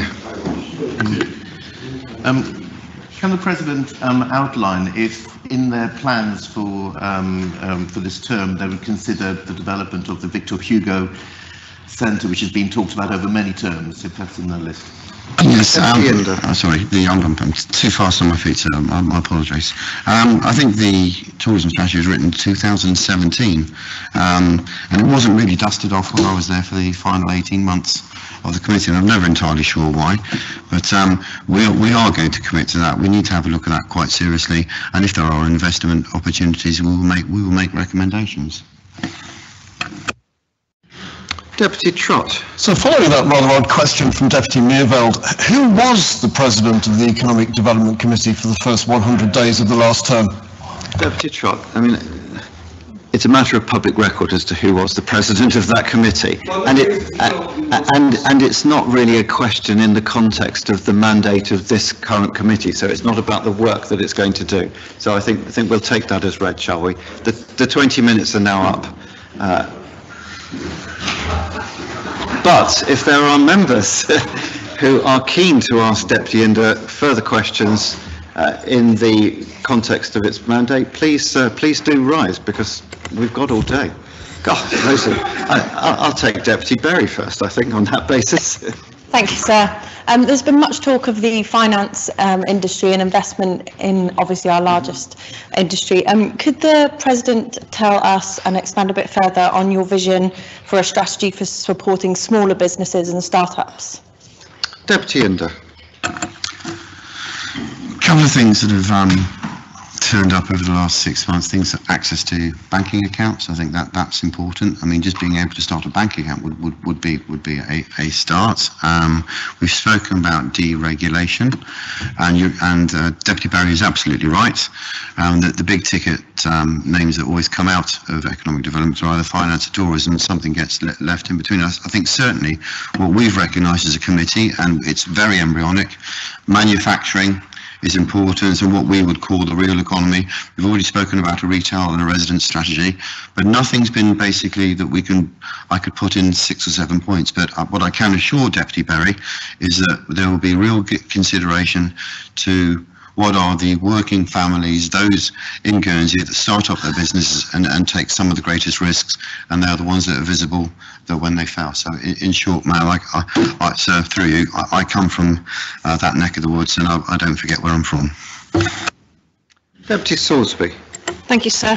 Um, the uh, President of um, God, Economic Development Committee uh, has referenced both the tourism strategy and retail strategy. Of course, neither of those ever came to the States. Will he commit to bringing those strategies for the States to approve? Deputy Inder. I, I, actually mentioned a resident strategy and there was and a retail strategy. Um, can, if I can get the tourism strategy out of the way, there was some push by the by the last house to, to bring a tourism strategy. And if they meant the promotional activity on top of that, how we're going to do it, the idea of um, 38 people picking through um, a tourism strategy, thinking something should be blue or something should be green or that field should be, I, I just, I would not bring that to, to, to the States. But um, the actual tourism strategy itself, which I believe was delivered to our committee, and I don't think it was debated by the previous states, I can't remember it was, um, I, I'm not cool to the idea. But again, until I've spoken to um, get a view of my committee, I cannot commit to that at, at the moment. Is there any member who hasn't asked a question yet, who wishes to ask a question in this session? Uh, so I'll take Deputy Dyke before Deputy Queripel. Thank you, sir. Could I ask the President a question regarding the extension of the runway? Um, I'm sure he either has or will be reading the Frontier report on, on the costings and, and economics of the, of the project. Um, what I thought was lacking from that report, and I would ask if he would address it, is, is the question of using the EMAS artificial uh, safety zone, which was not part of the Frontier report, and which I understand would, would halve the cost of the 1700 metre extension. Is that something he can uh, push to address and investigate? Inder, are you able to answer that question? Deputy I'm, I'm, I'm, grateful for your question. Um, I'm in danger of um, responding um, in, incorrectly. I think what I'll do in, in, at this point is, if you don't mind, um, I, I, will um, take your question and we will write back to you and all and all states members to give that consideration because right now in my head I can't remember picking through every single final detail of the frontier economics um, report but if I if I do remember correctly, we were supposed to be looking at um, a, I do remember correctly, a runway up to 1700 meters. It's the bits, it's the bits in between. I'm right now just a little bit flaky on. So if, if, if that's all right with you, I'd, I'd rather uh, write back to you and respond. That is very fine with me. Yes, very happy. It's the answer to the question, Deputy, and uh, you, you, you volunteered to, to respond in writing in due course. Uh, Deputy Le Tocq.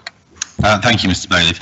Um, I'm heartened by much of what I've heard from the President of Economic Development. Would he and his committee, however, um, be willing to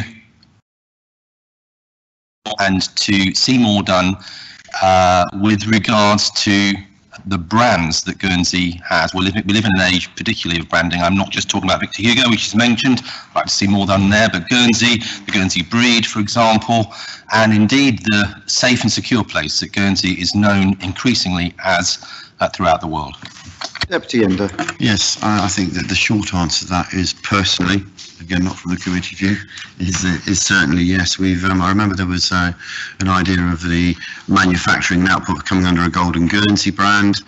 There's no two ways about it. The, the, Guernsey cow has, has a place not just in our society in the world, but what I notice, we've got digital, digital Guernsey one way, we've got Locate the other way, we've got Visit Guernsey down in that corner, brands all over the place. Well, I say brands, I, I, I actually, nine times out of ten, they're just logos. I'm not sure Guernsey has a brand itself. So to answer your question, that, that that's something we have to give some consideration. I suspect part of the answer will come up in the agency review if indeed we combine some of those agencies. Deputy Burford. Thank you, sir. Given that this Assembly has been commissioning very costly reports on the possibility of a runway extension for a decade or more and has never resolved to progress the project, is it time to conclude that the idea is dead and that £100 million could be spent much more effectively, particularly on revitalising sea links? Deputy Inder. Uh, no, it's not. It's, it's not um, to conclude that at all. That, that, that is quite clearly um, uh, Deputy Burford's personal view on it. That is not what the Frontier Economics report said. So um, but what I can say, and though it's not a direct answer to her question, is that the previous committee, because we were in the middle of a pandemic, didn't want to really um, look at spending and rev- reviewing reviewing something. The advice to the current committee is effectively, well, in short, Frontier Economics are quite happy to take our money for another short review, but they know what the answer is. We're in the middle of a pandemic. So as we, as and if we ever, when we peter out after this, we, we will be we'll be having a refresh of, of that, um, hopefully in the in the first quarter of um, first quarter of next year again, but by, by, by the grace or otherwise of this of this COVID-19, we, we, we tend to go. But to answer the question, I think that's very much her personal opinion and not necessarily the evidence that came out of the wrong one, one extension report. Deputy Oliver. Thank you, sir. In um, most people's manifestos, they put that they would uh, attract entrepreneurs to the island. How is the economic development going to succeed in doing that? Deputy Inder. We had a um, short presentation with Locate Guernsey yesterday. Um, so, it, uh, and things seem to be heading in the in, in, in certainly the right direction, and there's clear evidence um, that they have been benefiting the island to the tune of, I think, over the last four years, their figure is was around 4.8 million. I can't remember the amount of people they brought to the island. The pinch points are, oddly enough, um, uh, the lack, or two, two areas of the open market is some of the lower end quality and uh, some of the high, higher end costs. But it looks like Locate Guernsey has filled up the gaps that it can at the, at, at the moment. Um, but any more detail than that, I can't, I can't really give you. But thank you for the question. Deputy Queripel.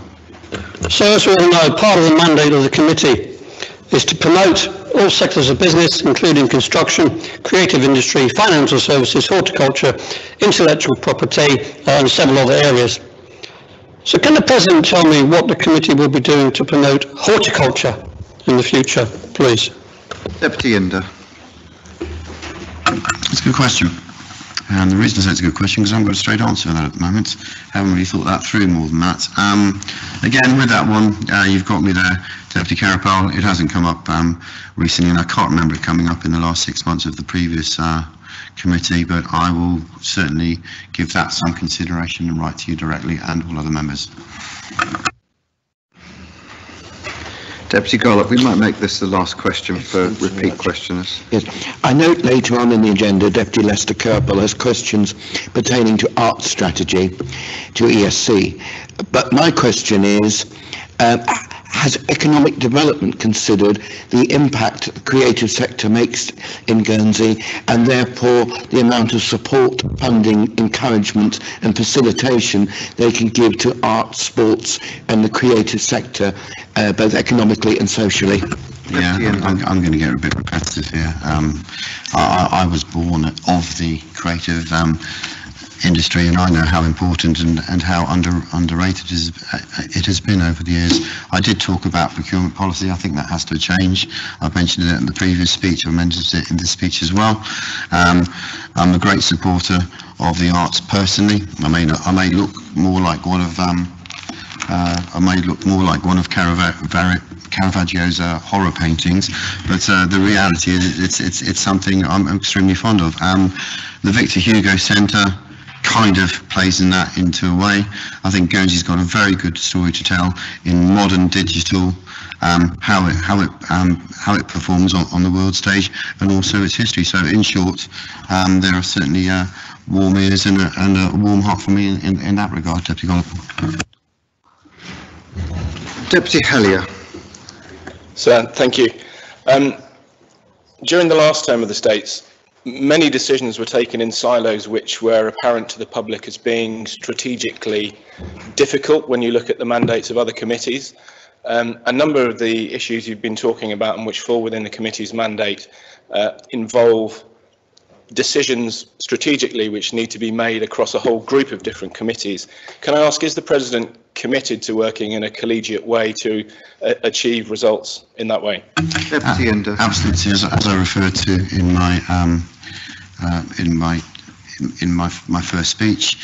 Uh, as I said to anyone who will listen, actually we we as we are called economic and we are called development. Actually, the levers are often elsewhere we mentioned, I, I, mentioned about the heritage sites the tourism could use. We need to work with policy and resources. Um, I mentioned, um, what else to talk talk, spoke about some of the um, uh, issues we may have with population management law. I had a meeting with uh, Deputy Prow um, only yesterday. Um, yesterday I had a coffee with him, uh, environmental, environment infrastructure uh, the Deputy Lindsay de, de and we're having another meeting today. So, so in short, short so those walls that did did exist, and I think it was down to the personalities more than the actual processes. They, they have been. I, I don't. I don't see them as I saw in the and the previous committee. We've got different people uh, working very differently, and my my feeling is what I'm seeing is that I think this whole um, uh, political body is going to work together much more than it has done in the last four years, if not eight years. Well, members of the States, you've had more than 10 minutes extra of questioning Deputy Inder, so uh, we'll draw a line in the sand on that one, shall we now? Uh, and we'll move into question time proper, which starts with questions being posed by Deputy Gollop. First of all, to the President of the Committee for Education, Sport and Culture. So, Deputy Gollop, your first question to Deputy Dudley Owen. Thank you very much. Um, Mr Bailiff, sir. Uh, can the new President at Education, Sport and Culture assure the new Assembly that given normal circumstances and constraints, her committee and department will work to deliver a workable and acceptable solution to the secondary school campus development programme and model for secondary education within the next 12 months. The President of the Committee, Deputy Dudley Owen, to reply. Sir, the short and emphatic answer is yes. The resolutions of the previous Assembly currently oblige the committee to carry out a review of the structure of secondary education to be debated no later than the 28th of April 2021. The committee believes that timeline is achievable. We owe it to the students who attend our secondary schools both now and in the future, and all of the professionals and support staff who have had to put up with uncertainty for far too long to bring clear and workable proposals back to this Assembly so that we can put an end to that uncertainty. My colleagues here today will shortly receive a placeholder invitation to a session early next month when the committee will share with them the work brought about by the pause and review process. That session will be this Assembly's first step on the journey towards agreeing and then delivering the right secondary education model for Guernsey. So looking around me today, I'm reminded of how influential previous debates on this subject have been in shaping the makeup of this current Assembly. So through you, I urge colleagues to roll their sleeves up and get involved with this vital work at every opportunity so that when the time comes for debate, we are all thoroughly informed to make the right choices for the community that has entrusted us to see this work through.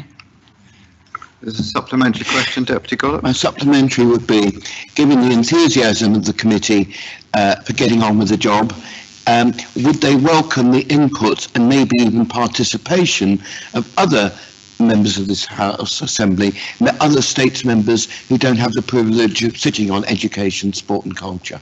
Deputy Dudley Owen. Absolutely. Uh, that's something that I um, put in my presidential speech about uh, looking at working parties. It's something that's briefly been mentioned in the, the just one uh, committee uh, meeting that we've had to date. But it's definitely something that I will be uh, seeking to um, to promote to all members of the Assembly to try and get involved wherever the opportunities arise. And certainly in terms of working party, parties, and members have already expressed an interest in joining those, which I'd, I'd welcome any other um, approaches as well from any other members. Thank you. Deputy De supplementary question. Sir, the uncertainty uh, in secondary education has been extended by the pause and review. Why have we not been given details of the results of the four options review? Deputy Dudley Owen. Thank Deputy De Lisle for his question. Um, well, the review hasn't actually concluded as yet, and therefore it would be inappropriate to bring a review back to this Assembly, informally or otherwise, that hasn't actually been concluded with the engagement of the relevant stakeholders, which was exactly why the requête was bought in the first place. As no one else is rising, I'll turn to Deputy Gollop to pose his second question to the President. Deputy Gollop. Will, will the committee be considering as part of that pause and review process of evaluating the best way forward for secondary education, educational outcomes of excellence and the different financial budgetary inputs each model may require to give the best opportunity for all pupils and educators? Deputy Dudley Owen to reply, please. Sir, again, the short answer is yes. I am sincerely grateful to Deputy Gollop for his questions. He has presented me with an opportunity to explain the evaluation work as approved by a majority of the previous states subsequent to the pause and review requête and which has been carried out under the direction of the outgoing committee.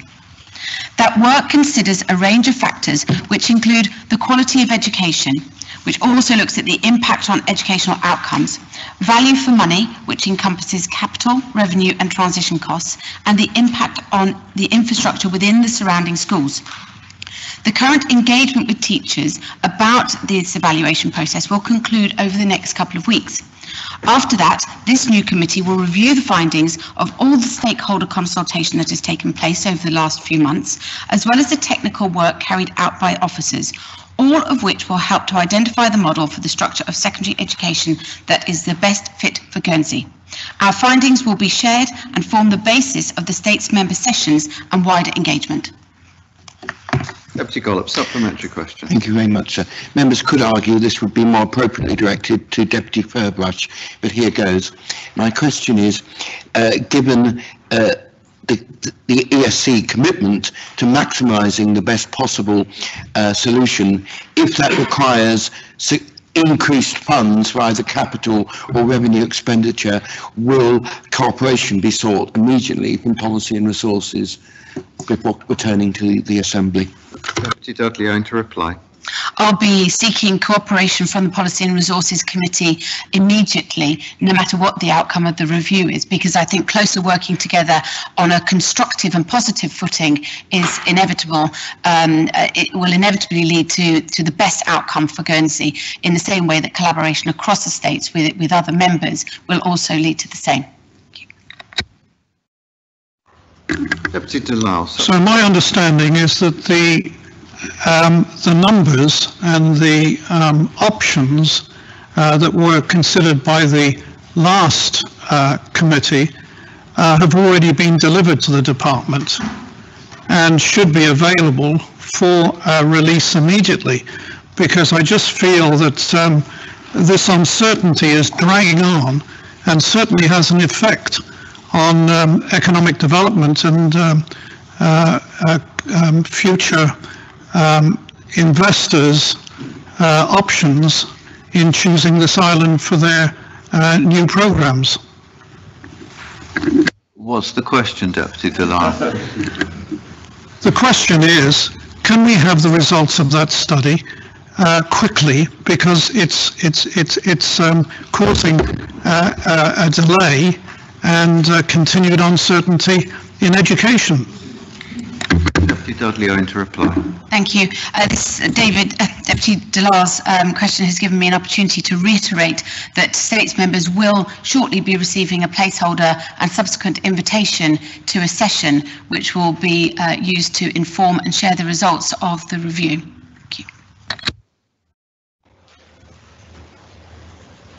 As no one else is rising, we'll turn next, Deputy Gollop, to the questions that you wish to pose to the President of the Committee for Home Affairs. So your first question to Deputy Prow, please. Thank you very much, sir.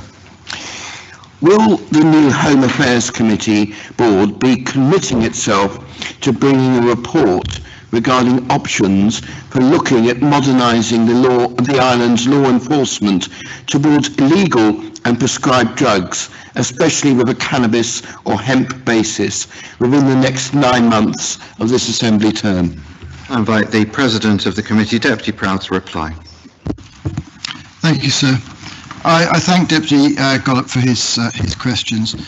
Uh, sir, the committee is under a resolution uh, to work with colleagues at Health and Social Care and report back to the Assembly with options for alternative and non-punitive approaches to the possession and use of small quantities of illegal drugs, including but not limited to cannabis. These options will be informed by work being led by HSC to develop a combined substance use strategy. The resolution is clear that this should be considered by the Assembly within six months of the states considering the combined substance use strategy. Consider, considering this strategy will therefore impact on the committee's timetable for presenting options to the states. Thank you, sir.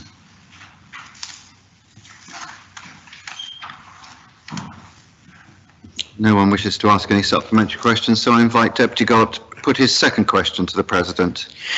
Thank you, sir. It's been partly answered already. But will the new Home Affairs Committee be actively working and jointly collaborating with other states' departments in terms of holistic drug use and justice review and outcomes policy with other states' departments, especially health and social care? The President, Deputy Prow to reply, please. Thanks, sir. Yes. The committee will endorse uh, the views of its predecessor that it will be essential for the success of the future justice policy that, that is sustainable and meets the needs of the community for it to be progressed as a cross-committee priority. In addition, there will be a need for the Assembly to collectively commit to resourcing this review to ensure that work can progress at a meaningful pace. So, Supplementary, is it Deputy My Gollop? supplementary is, um, is the President able at this stage, therefore, to indicate that approximately in six months' time, uh, the, uh, the report will at least be open for public consultation, if not debate in the Assembly? Deputy Prow to reply. Thank, thank you, sir. I think it's important to, to stress at, at, at this, this stage that a, a lot of work has already been done. Uh, the green paper that uh, was actually de- debated and, and the, the resolutions has put in place a, a framework for the new committee um, to work with. I, I've already outlined as best I possibly can what the timetables will be, but what I can tell uh, Deputy Gollop is I am sure from the first meeting that we've had that the committee is absolutely commi- committed both to consultate, consultation with this House and with the wider stakeholders and to get the whole justice review piece back before the states as soon as it practically can. Thank you, sir.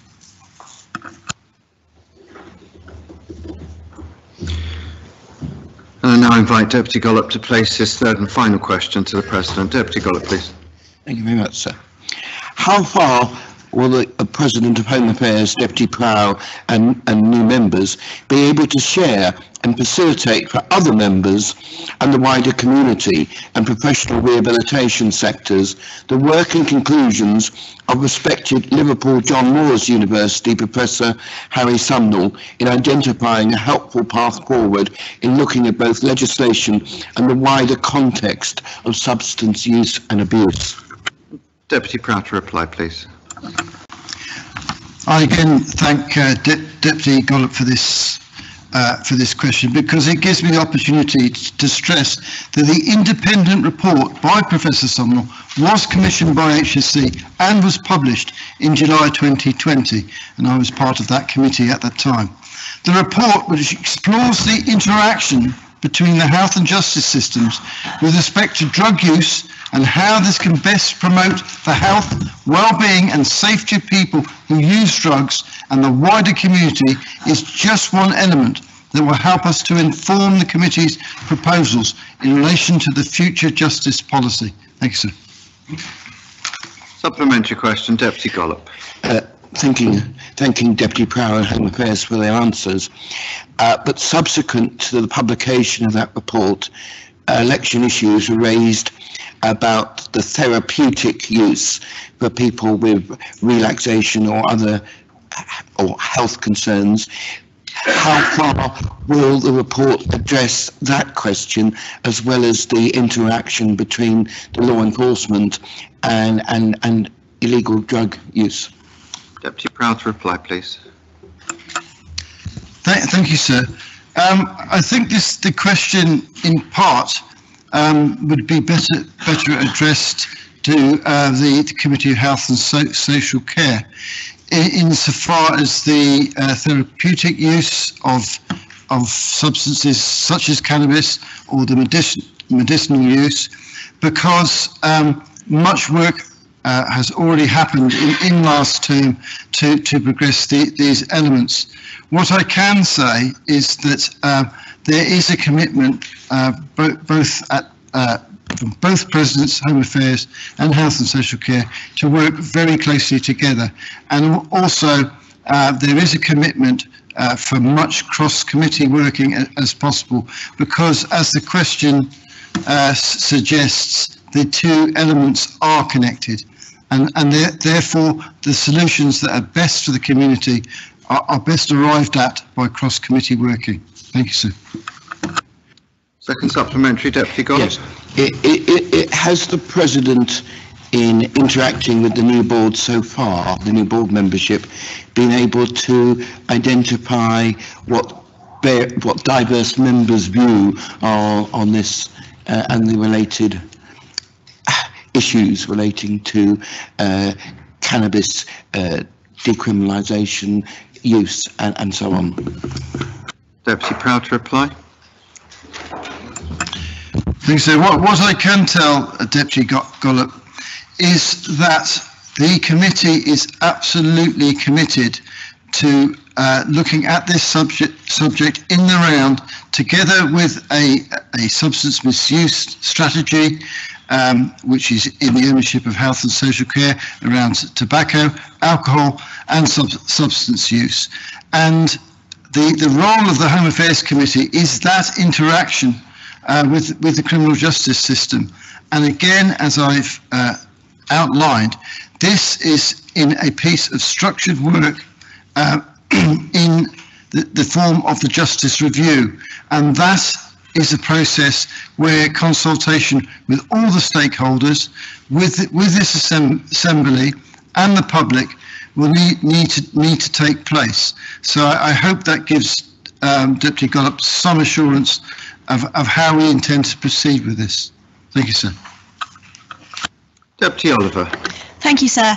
Um, it's quite well known that Deputy Prow was a member of Drug Concern and also um, his views on cannabis were made quite um, clear during the election.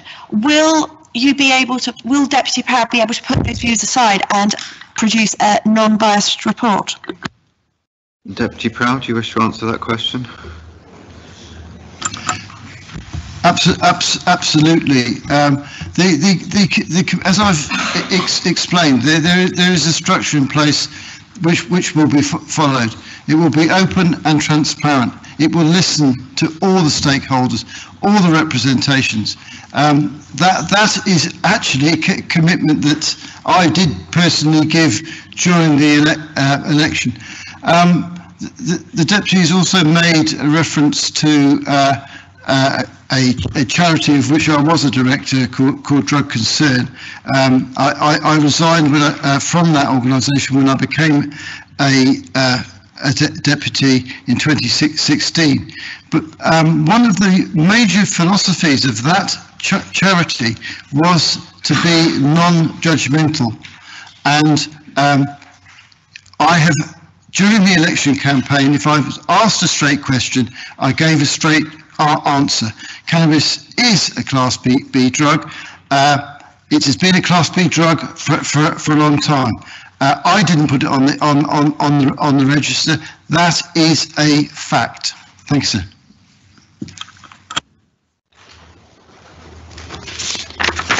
Very much. We now move on to the next set of questions, which have been trailed by Deputy Gollop already, uh, but these are to be posed by Deputy Queripel.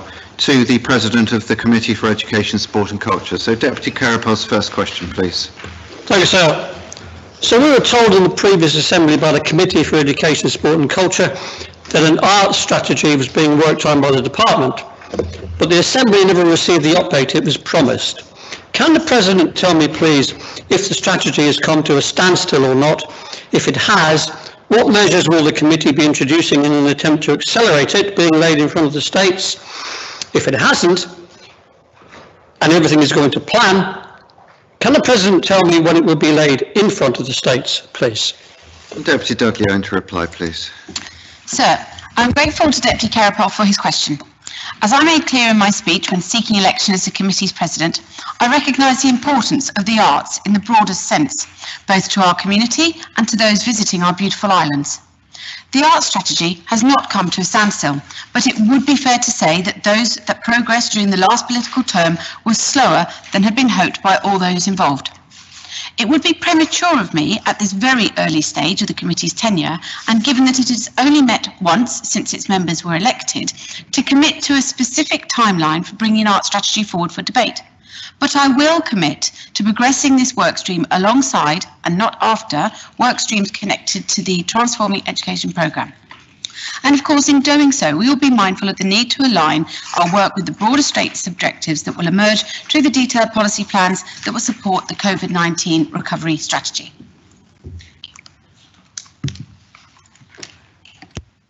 There are no supplementary questions. I'll invite Deputy Queripel to pose his second question, please. So thank you. So what does the President and her committee hope the art strategy is going to actually achieve and what assurance can she give me that it won't be just a list of well-intended but unattainable aspirations? Deputy Dudley Owen to reply. Sir, I said a moment ago that this work is not at a standstill. I'll flesh that comment out a little. There is already a work plan in place which has six strategic aims sitting alongside five key objectives that the Guernsey Arts Commission is now working towards. I'd like to reassure Deputy Queripel that these are more than well-intended but unattainable aspirations. For example, the first of these objectives, which was to refocus the Guernsey Arts Commission, has seen the introduction of a new set of commissioners, a full review of their governance arrangements, which were signed off last month, and the start of a new business plan for the Commission. A new chair has been elected to the Commission and is ready to take the helm at the end of the year. The reinvigorated Arts Commission, operating with a renewed sense of purpose, will use art as an enabler to achieve specific, measurable goals that have been that are sorry that have a demonstrably demonstrably positive impact on the island and islanders. And of course, this aligns with the committee's core purpose, which is to encourage human development by maximising opportunities for participation and excellence through education, learning, sport and culture at every stage of life. Supplementary question, Deputy Queripel. Please. Um, so in a response, the President said a new chair has been elected to the Commission. She didn't actually say who that was, so can she tell me, please, who the new chair is?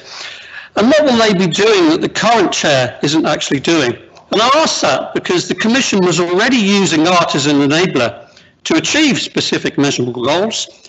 So for the President to say the reinvigorated Arts Commission will use art as an enabler may sound impressive, but it's nothing new, hence my question. We'll take that as your two supplementary questions, which is the identity of the person and the second question. Deputy Dudley Owen to reply to both, please. I'm disappointed to let uh, Deputy Queripel know that I don't have those details to hand. It's far too early in the term, um, and I hope he will forgive me, but I will circulate those details later um, because uh, previous to these questions, I, I thought it was uh, the previous uh, Mr. Trevor Wakefield who'd done an excellent job as the chair, um, still in situ, which I understand he is, but I'm afraid I haven't got the details that he's asked for, but I, I will commit to uh, circulating those. Deputy Gollop, supplementary question. Um, given um, uh, the commitment of education, sport and culture to the arts and related activities, uh, will the President and her board be actively working with other committees, policy and resources, environment and infrastructure, and especially economic development to ensure that we have holistic cooperation identifying arts as part of our economy too? And Deputy Dudley to reply. Indeed, and thank you, Deputy Gollop, for giving me yet another opportunity to uh, reiterate what I have said just in my presidential speech and, and previously, I think, outlined from uh, my uh, question, which may have had a slight tone to uh, to it to, to uh, Deputy Inder earlier about collaborative working across committee. I think it's um, incumbent on all of us to hold each other to account, to be able to find synergies in our policy work and our mandates with other committees, because otherwise we're just doing a disservice to Guernsey to work continued in silos. Thank you. As no one else is rising, I'll invite Deputy Queripel to place his third and final question to the President. Deputy Queripel, please. Thanks, sir. So the primary focus of the previous committee was education, which meant the committee weren't able to apply sufficient political oversight to the arts. Can the President tell me, please, what measures will the committee be putting in place to ensure sufficient political oversight is applied to the arts during their term of office? Deputy Dudley, Owen to reply. So, as Deputy Queripel was a member of the previous Assembly, and in fact a member of the committee for a short time, it is a little disappointing that his question overlooks the work of the previous term and the strides made beyond education. My committee has inherited from its predecessors the states-approved sports strategy, an upgraded world-class athletics track at Foots Lane, a cleared and renewed focus on our language, and there has been also significant development of some of our major heritage sites, included, including much needed maintenance and redevelopment work at Castle Cornet. But of course, there is always more that could, and some might say should, have been done. I mentioned a moment ago that the new committee has only met once, but we have already agreed, given the breadth of our mandate, to strengthen our numbers with two non-voting members.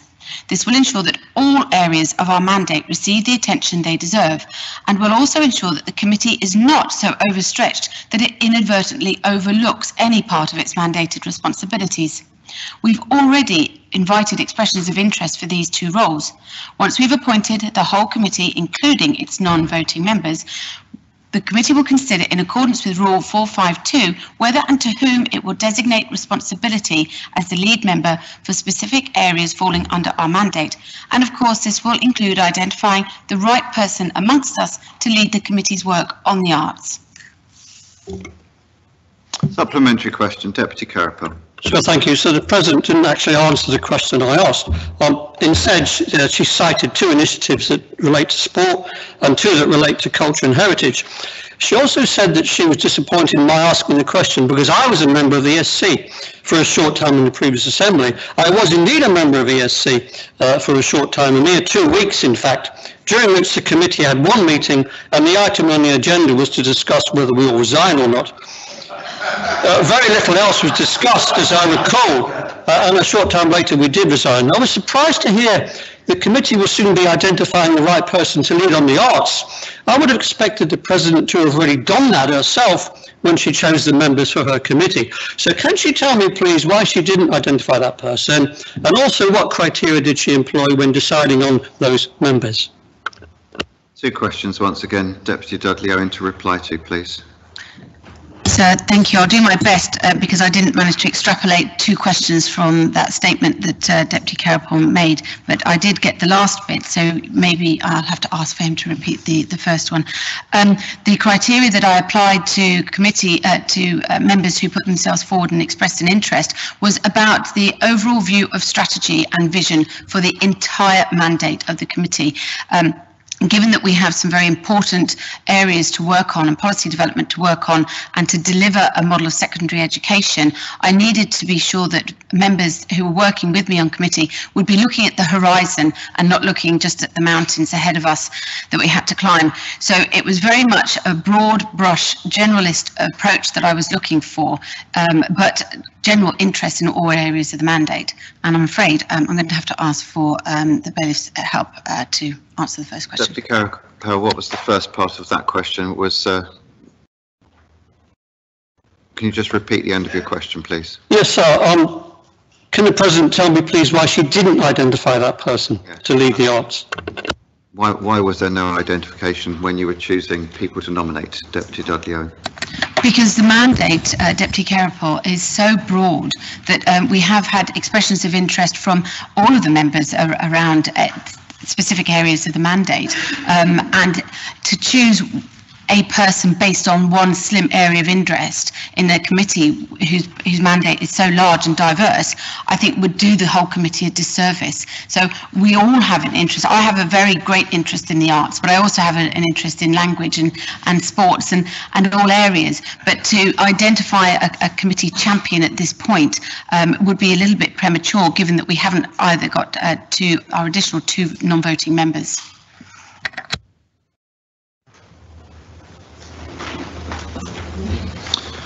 We now move on to the final question in question time, and that is to be put by Deputy St-Pierre to the President of the Policy and Resources Committee. Deputy St-Pierre, please. Sir, as a result of the mediated settlement around the changes to the State of Guernsey pension scheme, it was agreed to set up an independent pay review mechanism to periodically review and make recommendations regarding adjustments in the pay for Guernsey's judges and Crown officers.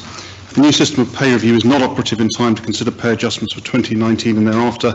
Any increase for their Jersey counterparts will be applied in Guernsey. Jersey carried out a review of judicial pay in 2019 and there's been a significant increase in the levels of pay for the Jersey bailiff and deputy bailiff. To continue parity with Jersey will be costly.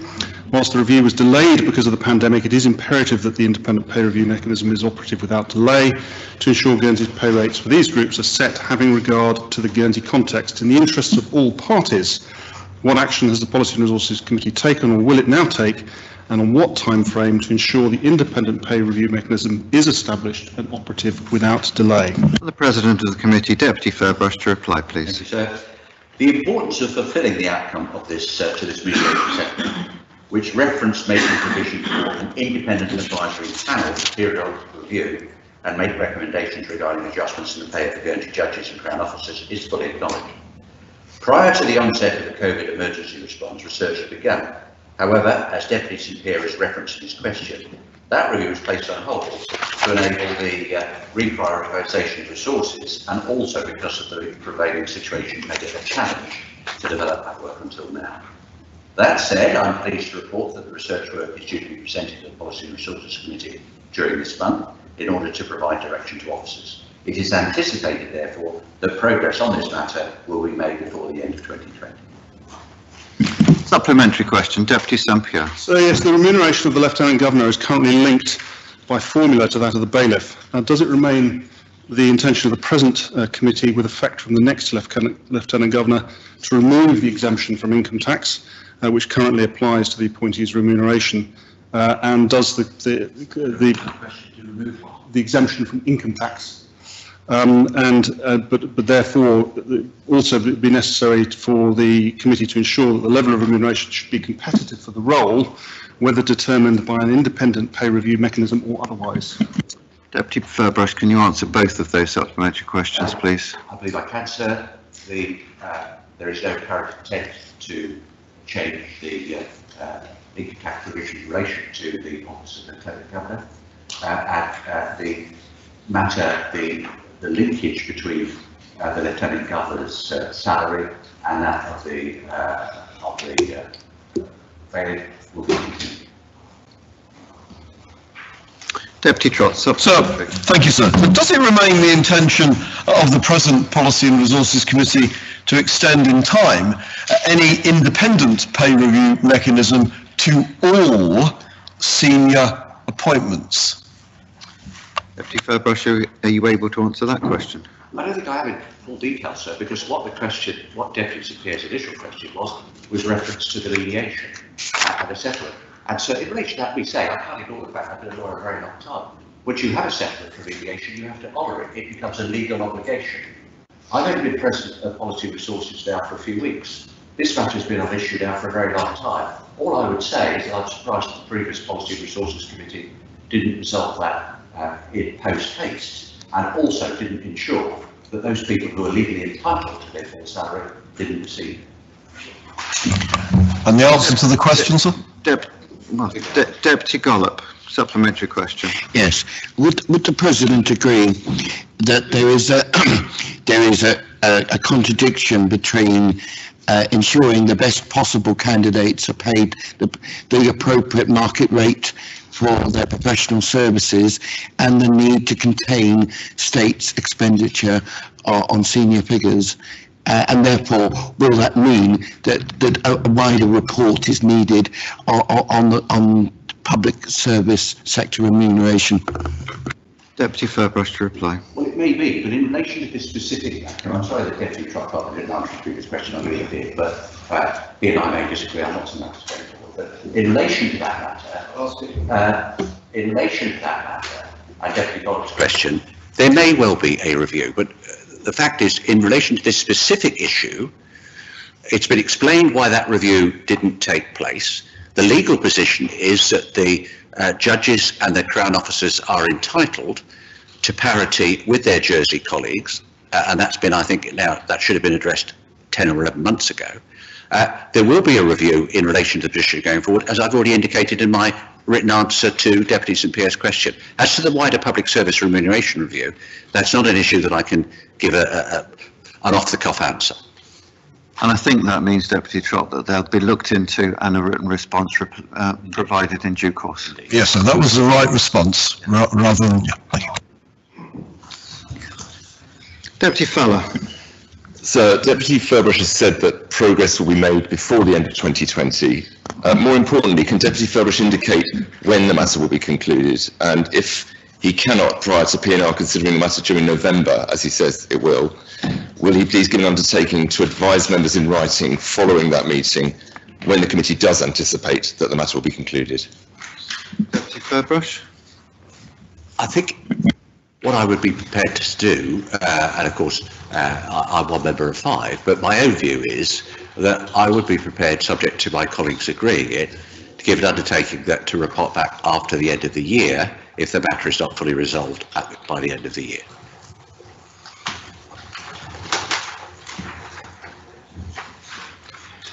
No one else is rising to ask any further supplementary questions and therefore that will conclude question time. Uh, members of the States, I'll take this opportunity just to remind you of the uh, rules relating to supplementary questions. No member may ask more than two supplementary questions in respect of each principal question's answer.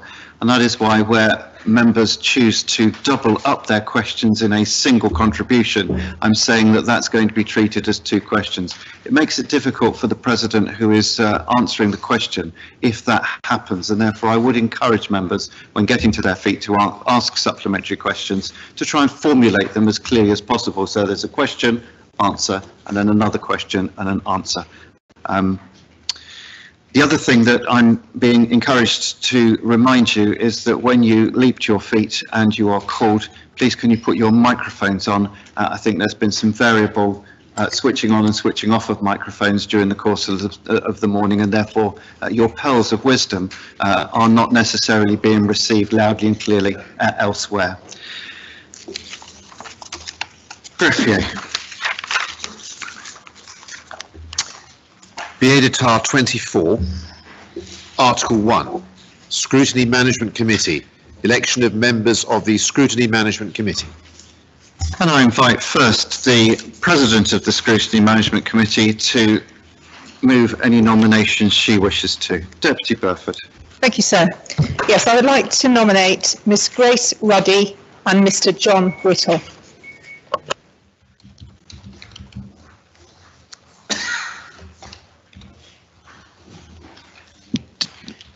Are those seconded? Uh, could I please second both of those nominations? Thank you, Deputy Dyke. Are there any other nominations? Well, members of the States, I'm going to put to you simply the nomination, therefore, by the President of the Committee, Deputy Burford, seconded by Deputy Dyke, of uh, two voting members of the Scrutiny Management Committee who are not members of the states. They are Grace Ruddy and John Whittle, and you should have received uh, copies of information in relation to them. Uh, I'll put both of them to you together. Those in favour and those against. I declare both uh, of those candidates duly elected as members of the Scrutiny Management Committee. The following legislation is laid before the states. Yes. Number 77 of 2020, the Emergency Powers Coronavirus General Provision Bailiwick Guernsey Number 5 Amendment, Number 2 Regulations 2020. Number 84 of 2020, the Emergency Powers Coronavirus General Provision Bailiwick Guernsey Number 6 Regulations 2020. Number 94 of 2020, the Emergency Powers Coronavirus General Provision Bailiwick Guernsey Number 6 Amendment Regulations 2020. And number 101 of 2020, the Emergency Powers Coronavirus General Provision Bailiwick of Guernsey Number 7 Regulations 2020. Members of the States, we note that all of those four measures have been duly laid before the States of deliberation today. I've not received any motions, perhaps unsurprisingly, to annul those regulations, uh, but there is an opportunity if you wish to do so at the next meeting. Next item of business. Yes, sir. Uh, proposition laid pursuant to Rule 18 of the Rules of Procedure. Civil Contingencies Authority. Emergency Powers Coronavirus General Provisions. Bailiwick of Guernsey Number 8 Regulations 2020. And I invite the Chairman of the Authority, Deputy Ferbrache, to open debate on this matter. Deputy Ferbrache, please. So I'm very grateful, and I'm very grateful to members. And because uh, we are a new civil contingencies uh, authority in the sense that the uh, presidents of the four committees that comprise it are all new presidents, we're very grateful uh, that Deputy uh, Soulsby is remaining as uh, the Deputy Minister and she uh, receiving advice that she can contribute and she has contributed valuably. And also to our colleagues in Alderney and Sark who are also uh, valuable members of the authority uh, to outline perhaps just where we are in relation to uh, the Civil Contingencies Authority. Now, the Civil Contingencies Authority was set up pursuant to the Civil Contingencies Bailiwick of Guernsey Law 2012, and it can only act if there is an emergency. And there's a definition of emergency in section 2.1 of the law. Now, the relevant emergency that COVID is acting there under is under section 2.1a, which says uh, it defines emergency as meaning an event or situation which threatens serious Thank you. The bailiff having reminded everybody to put their microphone on, of course I failed at the first, so I apologise for that. Anyway, section 2.1 defines emergency as meaning an event or situation which threatens serious damage to human welfare or the environment in the bailiwick or any part thereof. And then in relation to that particular part, subsection 2.1a, uh, there's a definition under section 2.2, which says for the purposes of subsection 1a, an event or situation threatens damage to human welfare only if it involves, causes or may cause loss of human life, human illness or injury, homelessness, damage to property, disruption of the supply of water, food, etc., etc., disruption of a system of communication, disruption facilities for transport, or disruption of services relating to health. Now, clearly, uh, there could be no argument uh, that uh, what we are dealing with in relation to the pandemic falls squarely within the provisions of that section.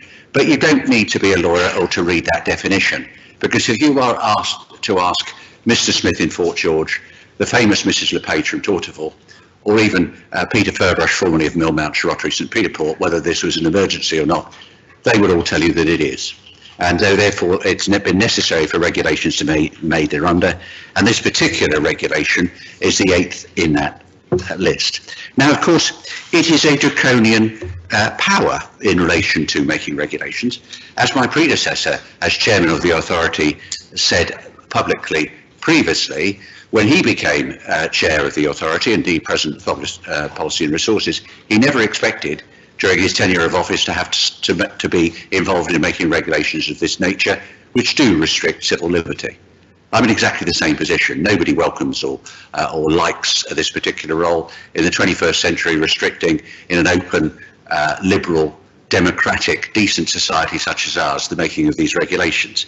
But of necessity, they've had to be made.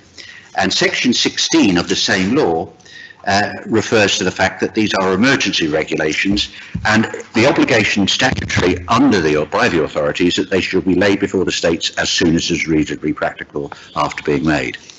And they lapse under section 16.2 of the law at the end of the period of seven days within the date of laying unless a, during that period of time, a proposition is put before the states to approve the regulation, and which, if it is not carried, the regulations lapse immediately, or the states pass a resolution approving them. So that's what we're here today, to ask the states to pass a resolution approving them. Now, my, re my reading of the, the law is that these regulations can be amended, because under section 16.5, the states can pass a resolution that emergency regulations shall have effect with a specified amendment the regulation shall have effect as amended with effect from, and that's effectively the date of the amendment. So they could be amended, but in this particular instance, they are proportionate. Now, we are also obliged under the provisions of the law, and we receive them, we have received very clear and able and concise advice uh, from the procureur and the, con- the comptroller that the making of the regulations must be proportionate. And we're mandated, and there are certain issues that we have to have regard to pursuant to the statute in deciding that. Now, we've been given that advice. We were given that advice on the day that we made that uh, these regulations, which is the 29th of October, effective from the 30th of October. So we were very clearly given that advice. Uh, a, it couldn't have been given with greater clarity. So in relation to that, as a, there's also perhaps the other statutory provision I should uh, mention is section uh, 20 of the law, which does provide that if the regulations are made, then the penalties upon anybody who breaches those regulations are very severe, including a heavy fine and or imprisonment. So they have to be taken seriously. Now, I don't think I need to say much more than that, except in relation to these regulations, they have been carefully considered. They were taken after able legal medical uh, advice, uh, and we believe uh, unanimously as the authority that there's something that we can proportionally put before this assembly and ask this assembly to make. They only last for a period of 30 days from the time of laying, uh, and therefore they, they need to be come back regularly before the assembly, either for approval, amendment, or repeal. Deputy St-Pierre. Um, so I'm sure it'll come as no surprise to anybody in the Assembly that I, of course, wholeheartedly uh, endorse these uh, regulations as being both essential and, as Deputy Ferbrache has said, uh, proportionate uh, for the ongoing management of the island's response to the pandemic. I do, however, I wish to take this opportunity to raise two points which I'd like Deputy Ferbrache to respond to at the end of the debate, and I have given him advance notice of the questions I will raise. Um, so part one of these regulations, of course, sits at the heart of our strategy for managing and mitigating the pandemic, and, and Deputy Ferbrache referred to that. Uh, it is the part which effectively imposes the border controls which are so critical to the strategy by giving the requisite powers to require testing and self-isolation. Uh, in relation to travel, we of course moved into phase 5C last week, and this relies on deploying the testing and self-isolation powers at different levels, depending on the prevalence of the virus at a rate of X per 100,000 in the point of origin of the traveller. And of course, the determination of where X sits is a political decision. Uh, setting X higher lowers our risks, setting X lower raises them. And that political decision has, and, and I'm, I'm sure will continue to be made by the authority, having regard to the modelling undertaken by the public health team of the level of risk to the community as X is either dialed up or down. Um, as the pandemic um, continued to escalate outside the island, uh, the outgoing authority, uh, which I chaired, adopted a lower risk appetite and the new authority, absolutely correctly in my view, has not sought to tamper with that decision. However, as the prevalence rate peaks and declines in travellers' points of origin, the determination of our risk appetite at that point will be key. Uh, in light of this, uh, and this is the question for Deputy Ferbrache when he responds to the debate, could he confirm that the authority will consider publishing, uh, and I must emphasise, in an appropriate format, in an appropriate format, the modelling underpinning the determination of X, as it is that information which will enable this Assembly to effectively scrutinise the future decisions of the authority and, of course, potentially amend the regulations as uh, Deputy Ferbrache has set, out. Uh, sir, secondly, as members know, the Civil Contingency Authority provides, as Deputy Ferbrache has said, that the authority can make regulations for up to 30 days. As we roll into the eighth set of general regulations today, and with no end in, uh, to the pandemic in sight for months ahead, the authority is going to need to keep remaking these regulations on more occasions.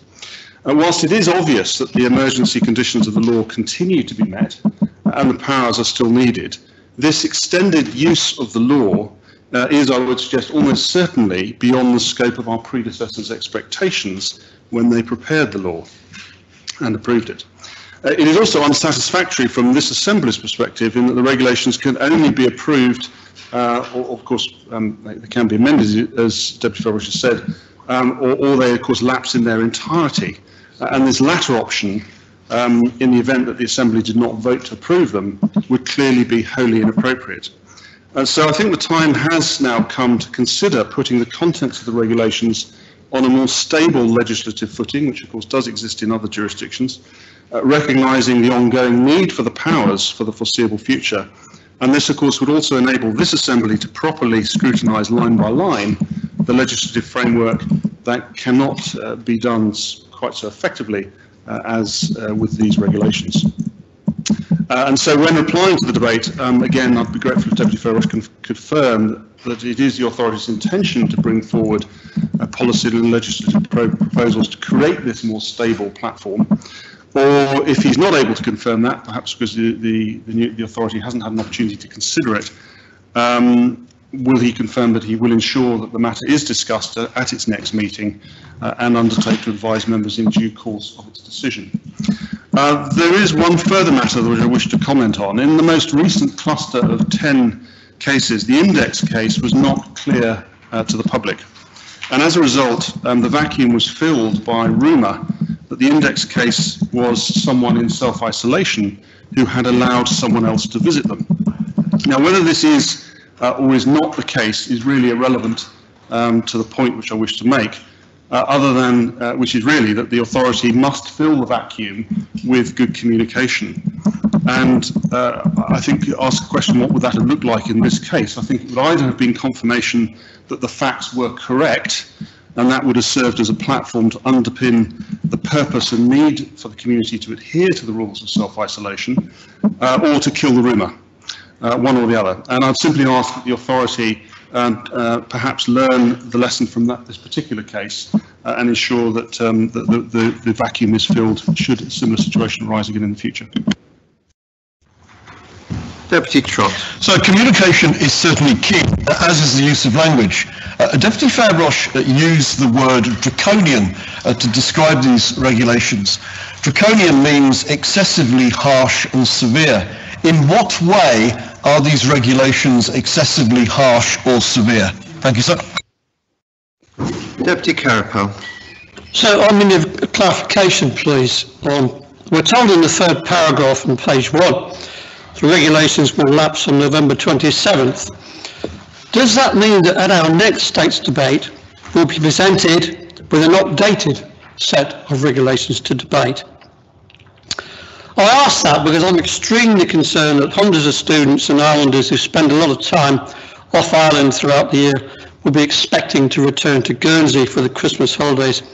And I want to be sure that the measures that will need to be put in place to deal with that influx are robust enough to prevent a further outbreak uh, which would result in our going back into lockdown.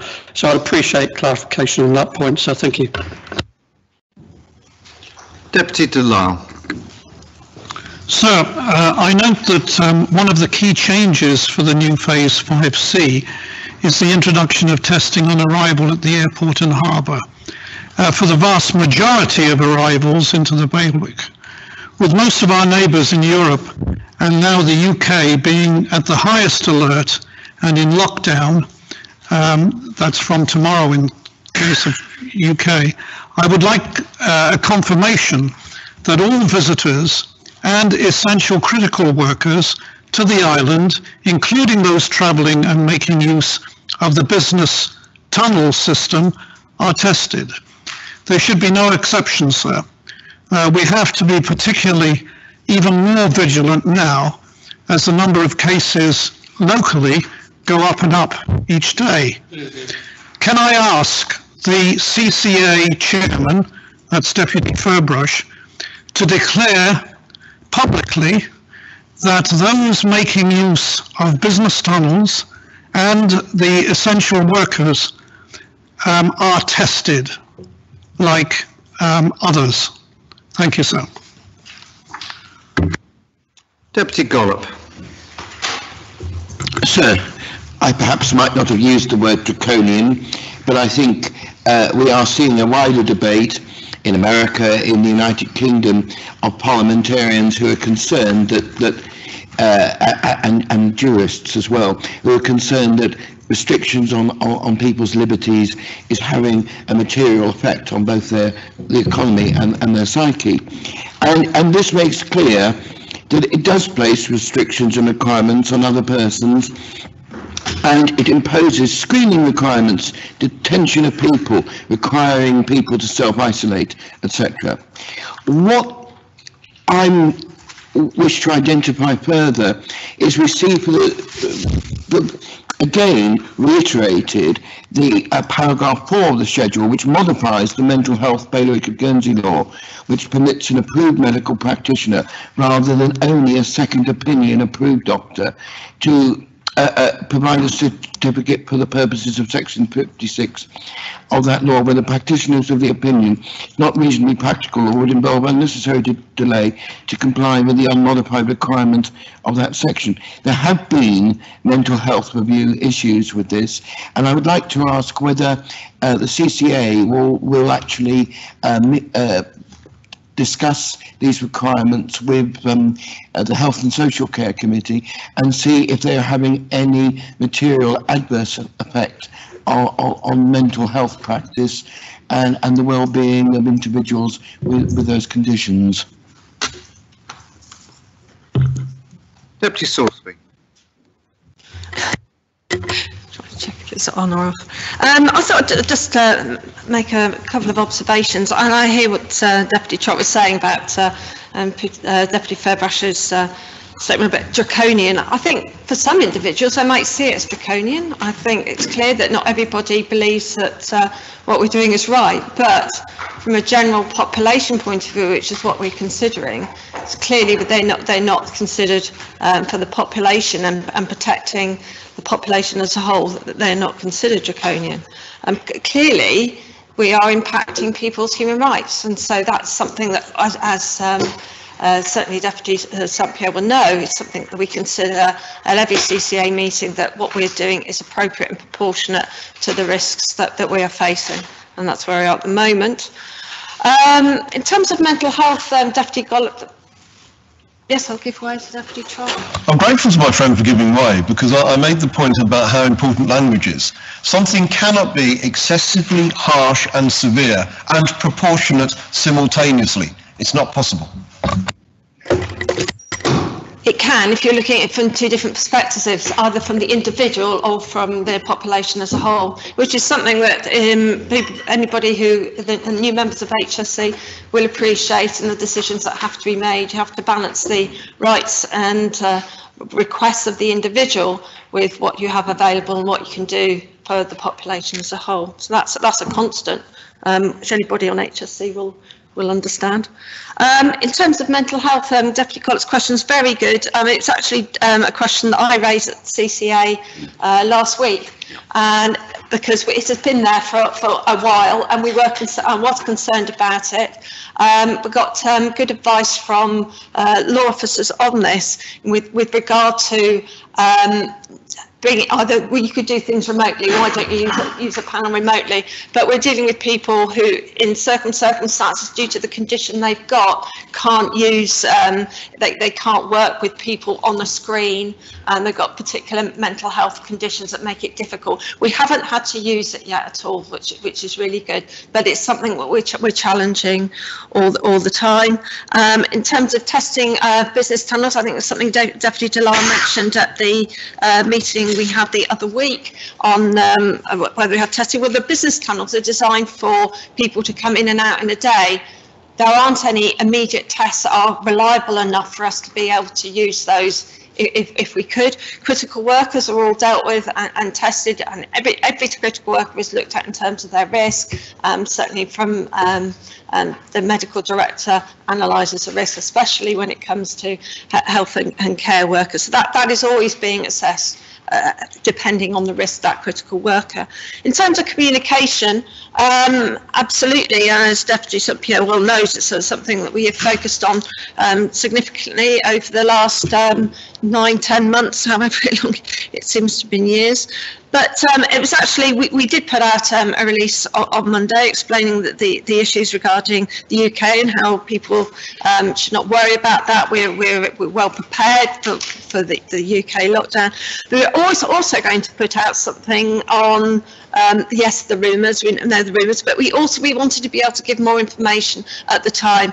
We, I, I, haven't heard the, latest on where we are in terms of the, the source of the cluster, but there have been a variety of, of leads which public health have been following, and we didn't want but by putting out something when we didn't know something would only would not solve that problem. I'm well aware of unhelpful rumours on social media.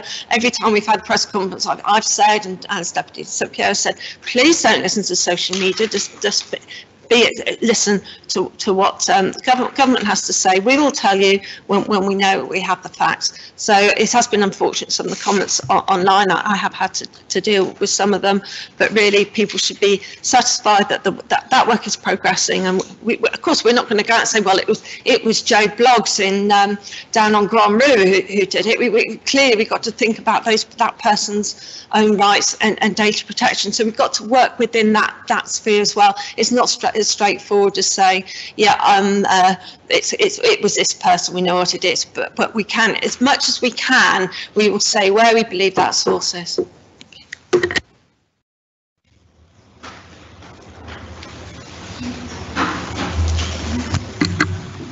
I take it I can make my point, sir. Well, Deputy De Lisle, you, you know the rules as well as uh, anyone else, which is if you want a member to give way, you stand in your place, which you did. It's helpful if the member on her feet uh, might say yes or no right. when seeing somebody who's, who's standing, but you've already spoken, so you can't be called again. Deputy Dyke. Now, members of the States, this gives me an opportunity because uh, Deputy Dyke is going to be making his maiden speech. Just to remind members that when a member makes their maiden speech, by convention, there are no interruptions of that member making the maiden speech. Uh, and therefore, no points of order, no points of correction, and no one standing in their place uh, seeking for the member to give way, please. So, Deputy Dyke. Uh, sir, I may have mistaken the procedures. I was proposing to ask uh, Deputy Soulsby a question. Uh, well, you have misunderstood the procedures on that basis in that uh, it, Apologies. if you wished to put a question to Deputy Soulsby while she was speaking in the debate, then you would do as Deputy De Lisle did, which is to stand in your place and remain silent and hope that you can um,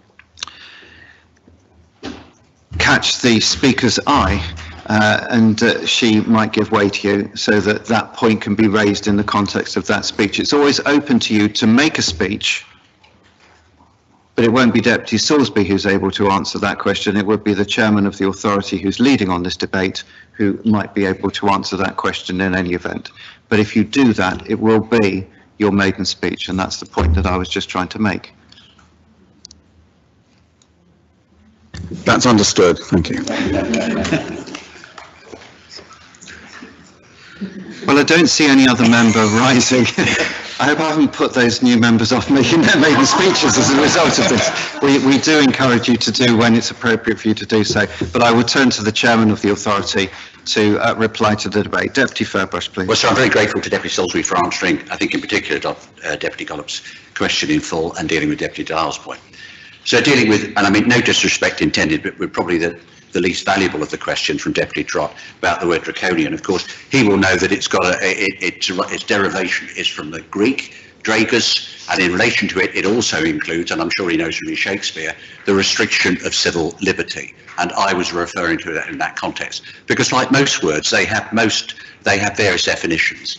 And the point is, it's too important to argue semantics. We're arguing, we're talking about a restriction of civil liberty in the manifest overall benefit of the uh, bailiwick of Guernsey. Now, Deputy uh, Carable said, when will they come back? He's absolutely right. I think the inference from his question is that they will have to come back either in this form or an amended form or some other form at the next state's meeting because to keep within the 30-day period. So that will give that consideration and hopefully will give the assurance to the, uh, the community that he mentioned. Now, Deputy, Deputy uh, St Pierre did, as he correctly said, gave me due notice, good notice of the uh, of the two main points that he raised. I think the third point's been dealt with by Deputy Soulsby, so I won't repeat that. But I just make a general point. Just with the previous authority, uh, which had an excellent record of communication, so will this authority. The intent is to tell people everything that can properly be said. We can't scotch all uh, rumour. And I know lots of people spend time, I think, on Twitter. I think they spend time on Twitter and Facebook and other things where they have obviously time to do that. And that permeates uh, and often facilitates misunderstandings. Uh, and that's completely unhelpful. Uh, people should listen to the facts. Uh, by all means, question the facts, but they should listen to the facts and make their judgments based thereunder. Now, his first question was about uh, the appropriate modelling, and that should be uh, would, it, would we give a commitment, the, uh, the Civil Contingencies Authority, that we will publish that? Well, I haven't discussed it with my colleagues, but I'd be very surprised if they weren't willing to give a commitment that that shouldn't be published as he says in an appropriate form. But of course, S and other factors will change regularly. They'll go up, they'll go down, etc., etc. So the modelling will change. Uh, and what we don't want to have already overburdened officers and medical people having to every day look at the appropriate figure. But of course, people must be kept informed on a regular basis. Now, as to a change in the legislation, uh, there are a, a couple of comments he made that, with considerable respect to him, I don't necessarily agree. I think one of the things he said was that it was beyond the scope of those, or sort of beyond the consideration of those that um, uh, brought about this law, that uh, it would be used, it would still be used in the way that it is for the foreseeable future. Well, I don't actually agree with that because I, you look at the law. It doesn't matter. It's like anything. As a, he would know, as a qualified lawyer as well, that when you look at the when you look at the uh, way a law is interpreted, you look at the actual terms of the statute. And clearly, all the regulations, both now and any that may be made in the future, and any that were made in the past, fall squarely within the terms of the statute. There's nothing ultra vires in relation to that at all. So there's no reason why this statute cannot be used for the foreseeable future. He also said there was a stable foundation, or whatever the phrase was. Well, I don't agree with him there. There was a stable foundation. There is a stable foundation to continue to use this piece of legislation. Now, we've already got overburdened public officials, and uh, in relation to the matter, it comes back before this assembly periodically, regularly, in short term. A, before any regulations can continue beyond the short term, because they have to be brought for their approval or otherwise uh, as soon as is reasonably practical. These were made on the 29th of October. We're here now uh, on the 4th of November. And B, they can only last for a short period of time, a 30-day period from the laying of the uh, of the or making of the original regulation. So there's pretty good control anyway. Deputy Inder was talking in a different context about uh, something about do we want to really argue whether someone should be blue or green, a van or whatever. Uh, there was a van that went round, if you remember, for the uh, for the election, which had the pictures of three good-looking and one other member of the uh, state assembly, now state assembly. So in relation to that, but we don't want to be arguing about things like that. We want to be dealing with matters on a practical and proactive basis to make sure that the bailiwick is protected, and that's what we're seeking to do. So. I, my best guess, and it is a best guess, is that if there was to be a new statutory uh, basis, it would probably take six months to draft and enact, even going espresso presso, going sprinting rather than uh, than ambling. And we, so therefore this piece of legislation is going to be used for the foreseeable future. I also don't think it would be a matter for, with great respect to my colleagues on the Civil Contingency Authority, I think it would be a matter for policy and resources because it is a policy decision to change the statute, not the civil contingency. So I believe it would be the committee, which Deputy Soulsby and I are also members, and our other three colleagues to initially address it, with of course any, any representations made by the member of the Assembly. So my own view, and I'm expressing my own view, is that this vehicle works and will work for the foreseeable future. Because again, what legislation would replace it? What form would that legislation take? I could see a, we had a day and a half, I'm, Deputy Roffey was correct me on the time frame, but we had a day and a half debate not uh, in the last states about bonfires and matters such as those. And there were many interesting uh, speeches on that. So I can imagine a matter of civil liberty such as this, there would be a, a lengthy debate. That's not to say we shouldn't, in relation to civil liberties, have lengthy debates and matters shouldn't be uh, scrutinised. But what we get on, what we need to get on with is to make sure that the bailiwick of Guernsey is protected in relation to this horrible pandemic, uh, and we've got a vehicle to do that. On that basis, I'll ask objections to be put.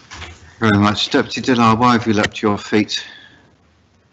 I was wanting to uh, uh, interject with, with guidance to uh, Deputy I think you've missed your opportunity, I'm afraid, Deputy Dillard. He's finished. Um, members of the States, there's a single proposition and that is whether you're minded to approve the Emergency Powers Coronavirus General Provision Bailiwick of Guernsey Number 8 Regulations 2020. Those in favour? Those against? I declare that proposition duly carried. The Billet d'État 23, Article 1, Committee for Home Affairs, Amendments to the Terrorism and Crime Bailiwick Guernsey Law 2020. I turn to the President of the Committee, Deputy Prow, to open debate. Deputy Prow, please. Thank you, Mr Bailiff. So I'm pleased to present my first speech to the Assembly as President of the Committee for Home Affairs. You will note, sir, that the policy letter was prepared by the previous Committee for Home Affairs last term, but it was fully endorsed by the present committee at its inaugural meeting this week. It would be not to thank the previous committee for their commitment and hard work in ensuring at a political level this bailiwick is kept safe and secure. Sir, I must also pay a special tribute to former Deputy Lowe for her sterling work as President last term, and indeed to her loyal and outstanding continuous service to this House and our community over the previous 26 years. I'm sure this House will agree with me this is a remarkable achievement. So this policy letter recommends amendments to the Terrorism and Crime Bailiwick of Guernsey Law 2002, which is the main statute in the bailiwick relating to terrorism.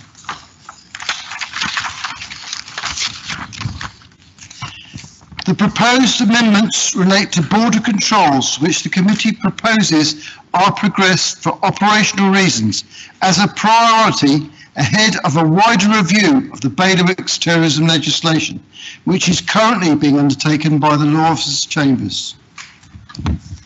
The recommended amendments are set out in section 3.1 of the policy letter as follows. First, new powers at the border to inspect, seize and retain travel documents.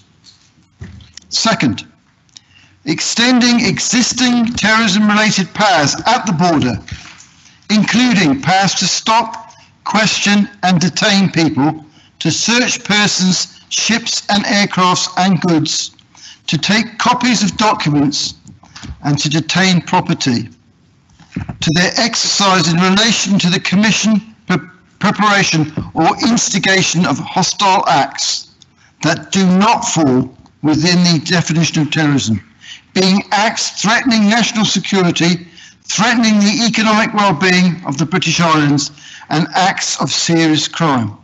And third, supplementary updating provisions around calculating detention periods, restrictions on the use of answers to questions and evidence, searches, the supply of information, and the issue of codes of practice. So with regard to the issue, issuance of codes of practice, I've been given an absolute assurance from law enforcement they fully acknowledge that proportionality is at the core of this legislation and the powers it gives officers and to the stringent safeguards in place will be adhered to. So I have mentioned the wider review.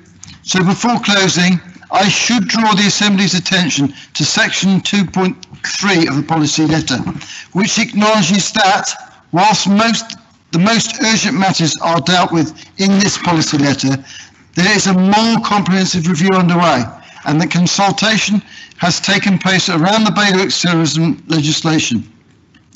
Whilst the legislative framework is complex and there are currently huge pressures on the workload of the laws of the Crown, a proportionate and appropriate policy letter will come to this Assembly as soon as practically possible.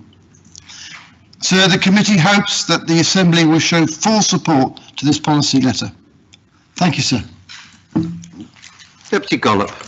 Um, like Deputy Prow, I too commend his department and also his predecessor, long-serving parliamentarian uh, Mrs Mary Lowe, for the work that she and her team did on this. And it is a commendably short, uh, but nevertheless very interesting and important uh, policy letter.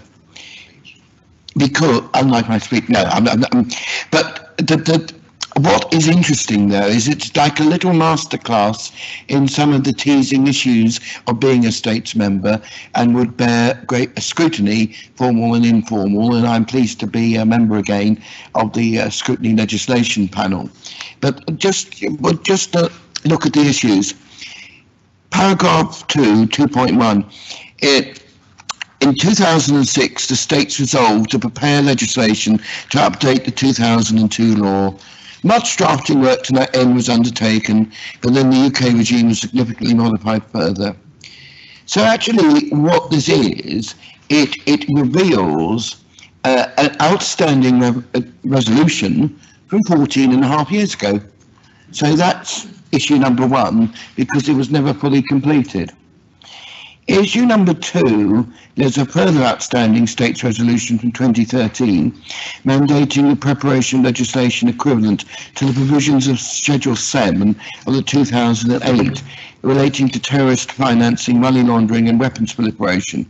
Well, I'm aware that previous Policy and Resources Committee, especially Deputy uh, um, and Deputy St Pierre were very focused on ensuring we had a robust regime to combat money laundering and terrorist financing.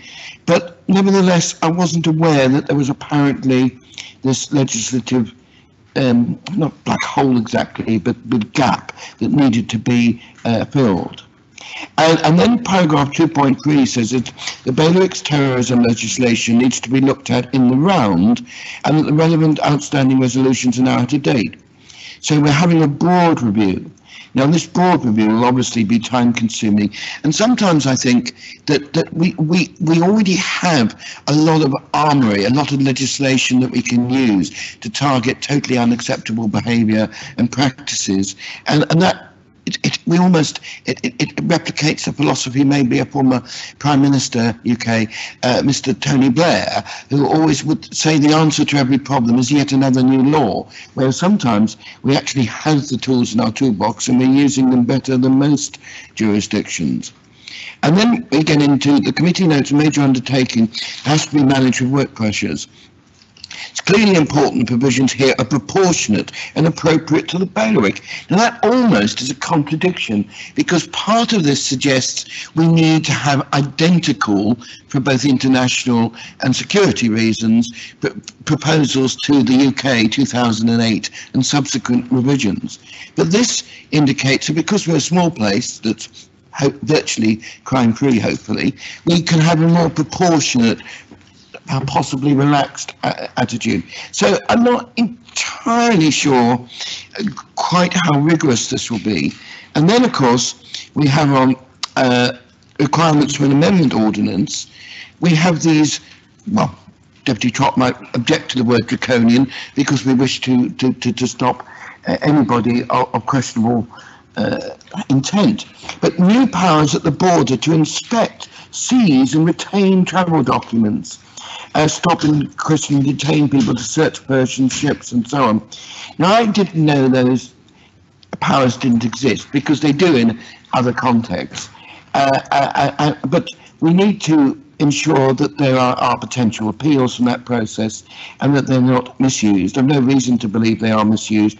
But an example given was the extraordinary spy story of, of two, two, two, two uh, uh, a gentleman from Russia who went to Salisbury and how counter-terrorism border, the two suspected offenders in the Skripal, Skripal case had been stopped on arrival was the landing card that prevented the link. So it described seeing nationals from hostile states whose behaviour is of concern. The introduction of these changes will enable them to better determine the visit of their bailiwick onwards. Well, even when I was young and coming back from university on the old, uh, what was it, Havelet boat or Corbière, I used to get stopped by officials who thought I was a suspicious character and wanted me to sign a, a declaration of terrorism as if I was connected with, at that time, Ireland or somewhere. So 40 years ago, we had rigorous border and security people. We, we always have. So I kind of wonder, is all of this legislation exactly necessary? And if it is, why haven't we got on with it sooner? Deputy De Lisle. Uh, thank you, sir. Um, I'm pleased to note that proportionality is at the core of this uh, legislation and the, of course, the full legislation that's going to follow, and um, the, the, the, powers it gives officers. Um, because it's really in the delivery uh, that a jurisdiction can falter with regard to um, uh, these powers and perhaps overuse of them. Um, but on the other hand, security and safety is absolutely paramount to our island Guernsey. And I worry about that very often. In fact, we're, you know, we're very open as an island um, uh, to uh, outsiders. And I think we have to be particularly uh, careful. And I noted that the Guernsey laws um, have been delayed by the need of the um, coronavirus legislation. But that really should not have prevented um, an area like this in terms of security and safety of this island uh, to be uh, delayed to any uh, uh, degree and to, to any extent. Um, so from my point of view, I fully support what is proposed here. It's a pity we didn't have the full package at this time because um, uh, I'd feel more comfortable with the full package. Uh, but um, uh, amendments to the law uh, must be made on an urgent basis uh, for operational reasons and for the safety and security of islanders. Thank you, sir.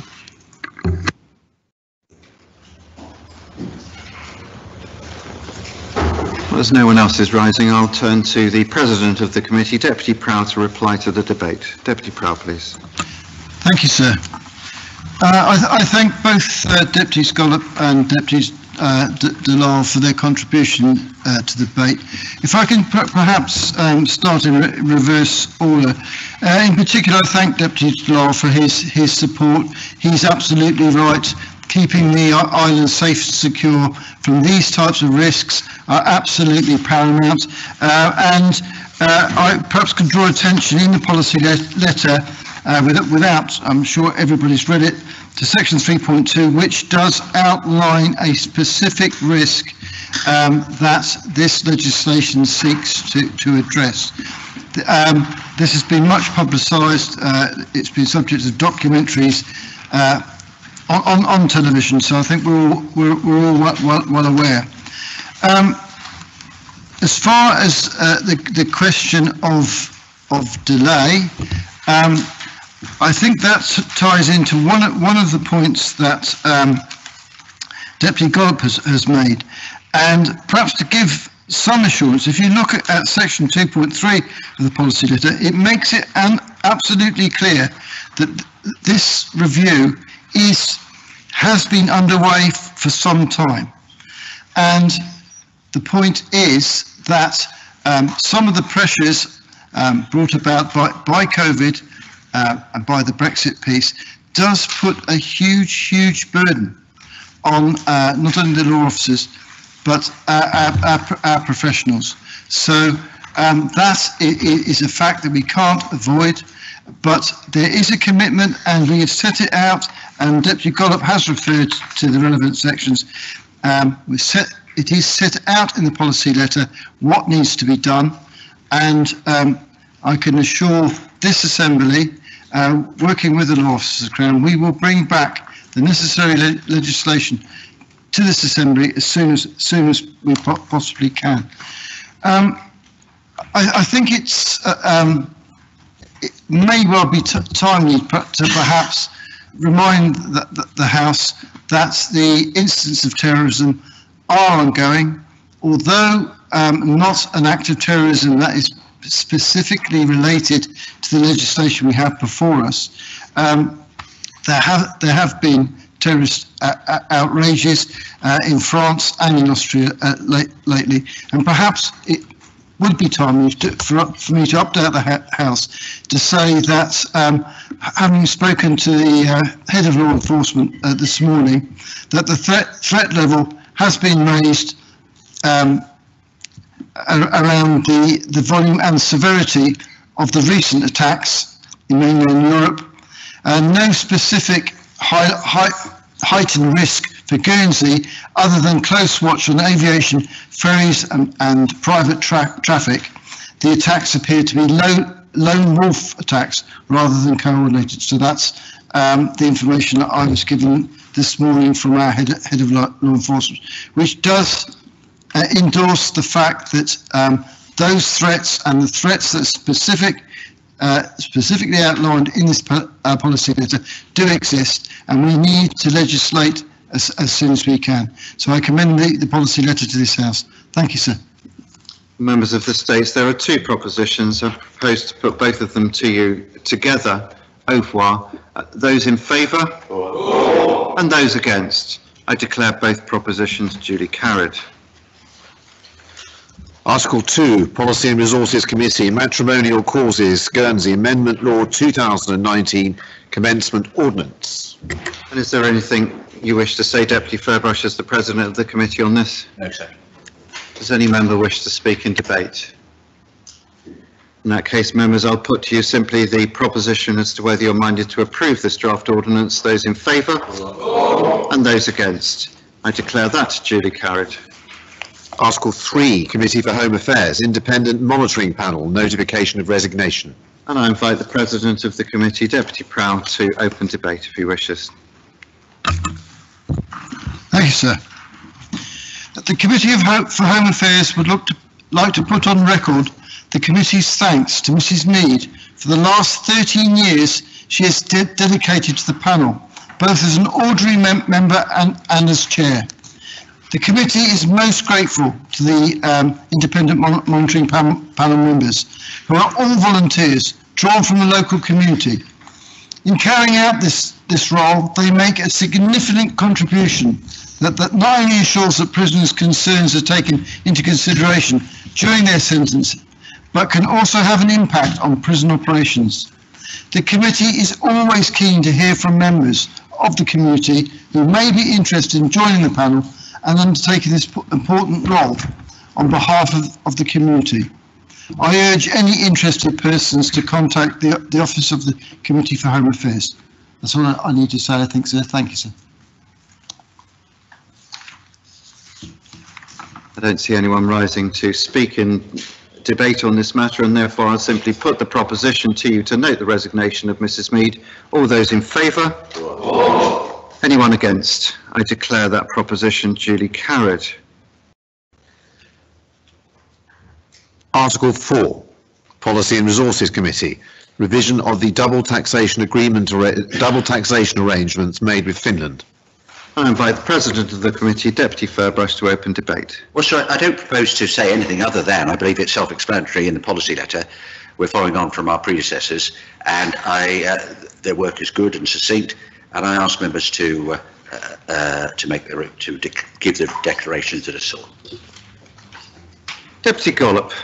Sir, I wish we could have debates on this in a way, um, because in the last states we're quite interested in ba base erosion and profit sharing issues, and I think I, I, I, was intrigued as to how this came before us through the Policy and Resources Committee, and whether it, it was it was uh, it was a desire from high net worth individuals or private sector entities or companies, or whether it was the, the European Union or Finland itself. Because, because much as I support double taxation agreements and their furthering, there is a slight warning in paragraph 1.3. It says in recent years, the Organisation for Economic Development and Cooperation, OECD, has been developing the Base Erosion and Profit Shifting BEPS initiative, which is aimed at combating tax avoidance. One outcome of the BEPS initiative was the creation of a multilateral instrument which committed jurisdictions could sign. Once the provisions of the multilateral instrument are adopted into domestic legislation, all, all DTAs affected by the multilateral are revised accordingly. Uh, and the point then made late, late, later on, um, that, uh, that, that, oh, where was it? That effectively, uh, BEP, yes, uh, BEPS has revised the, the, the, the, the, the, the context in, in, in as much that people are, uh, that, that, that, that, uh, the former, uh, the, the nature of electronic transactions and the nature of, of changing uh, rules have indicated that we uh, uh, that we need that, that, that, that one needs um, modernisation of this.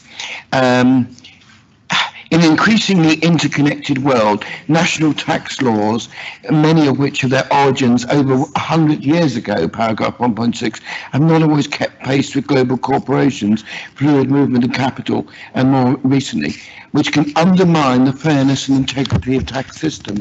Now, whilst accepting that uh, and the need for double tax, what we don't wish to do is to do is to do double taxation agreements which in any way disadvantages our, our customer offering or, or our competitiveness as a jurisdiction uh, because clearly we need to robustly argue for the, the, the, strengthening of, of our place in the international world. So I think perhaps we need more information on, on, on the undercurrents uh, of BEPS with these DTAs.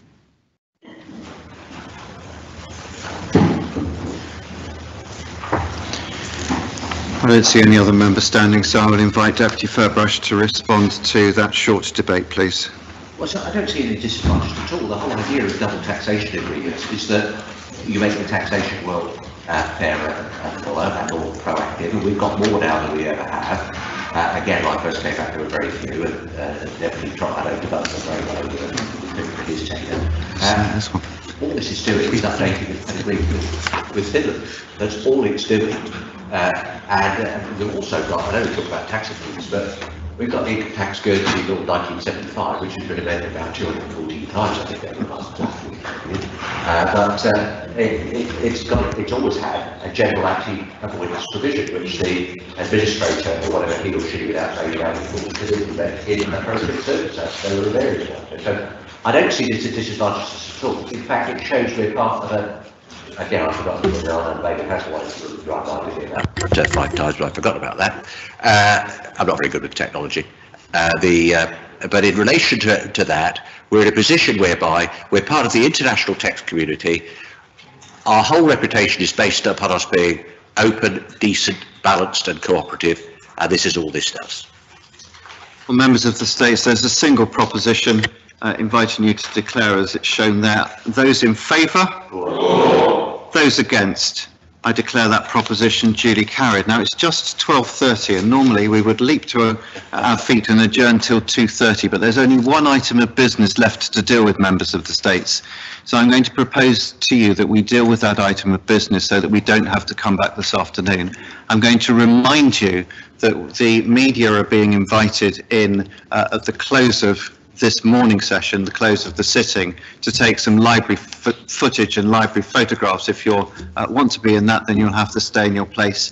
And then I'm also going to remind you that there is the extraordinary meeting of the uh, general meeting of the branch of the Commonwealth Parliamentary Association, which needs to uh, refresh its executive committee that will follow as soon as possible thereafter, where we need to be quiet. So the motion is that we continue to finish the business uh, of this meeting now. Those in favour? Those against? And I'll declare that duly carried. Greffier, last item, please. Tar 24, Article 5, Policy and Resources Committee, schedule for future states business. And is there anything you need to say in respect of that, Deputy Ferbrache, as the President? No, sir. I have not received any amendments on it and I will simply put the proposition to approve the schedule for the next meeting in three weeks' time to you. Uh, those in favour? Those against? I declare that proposition duly carried and can I thank you for the speed with which we've dispatched the business of this meeting. Long may it last during this term. I, I will now invite the greffier to close this meeting with the grace, please. All stand.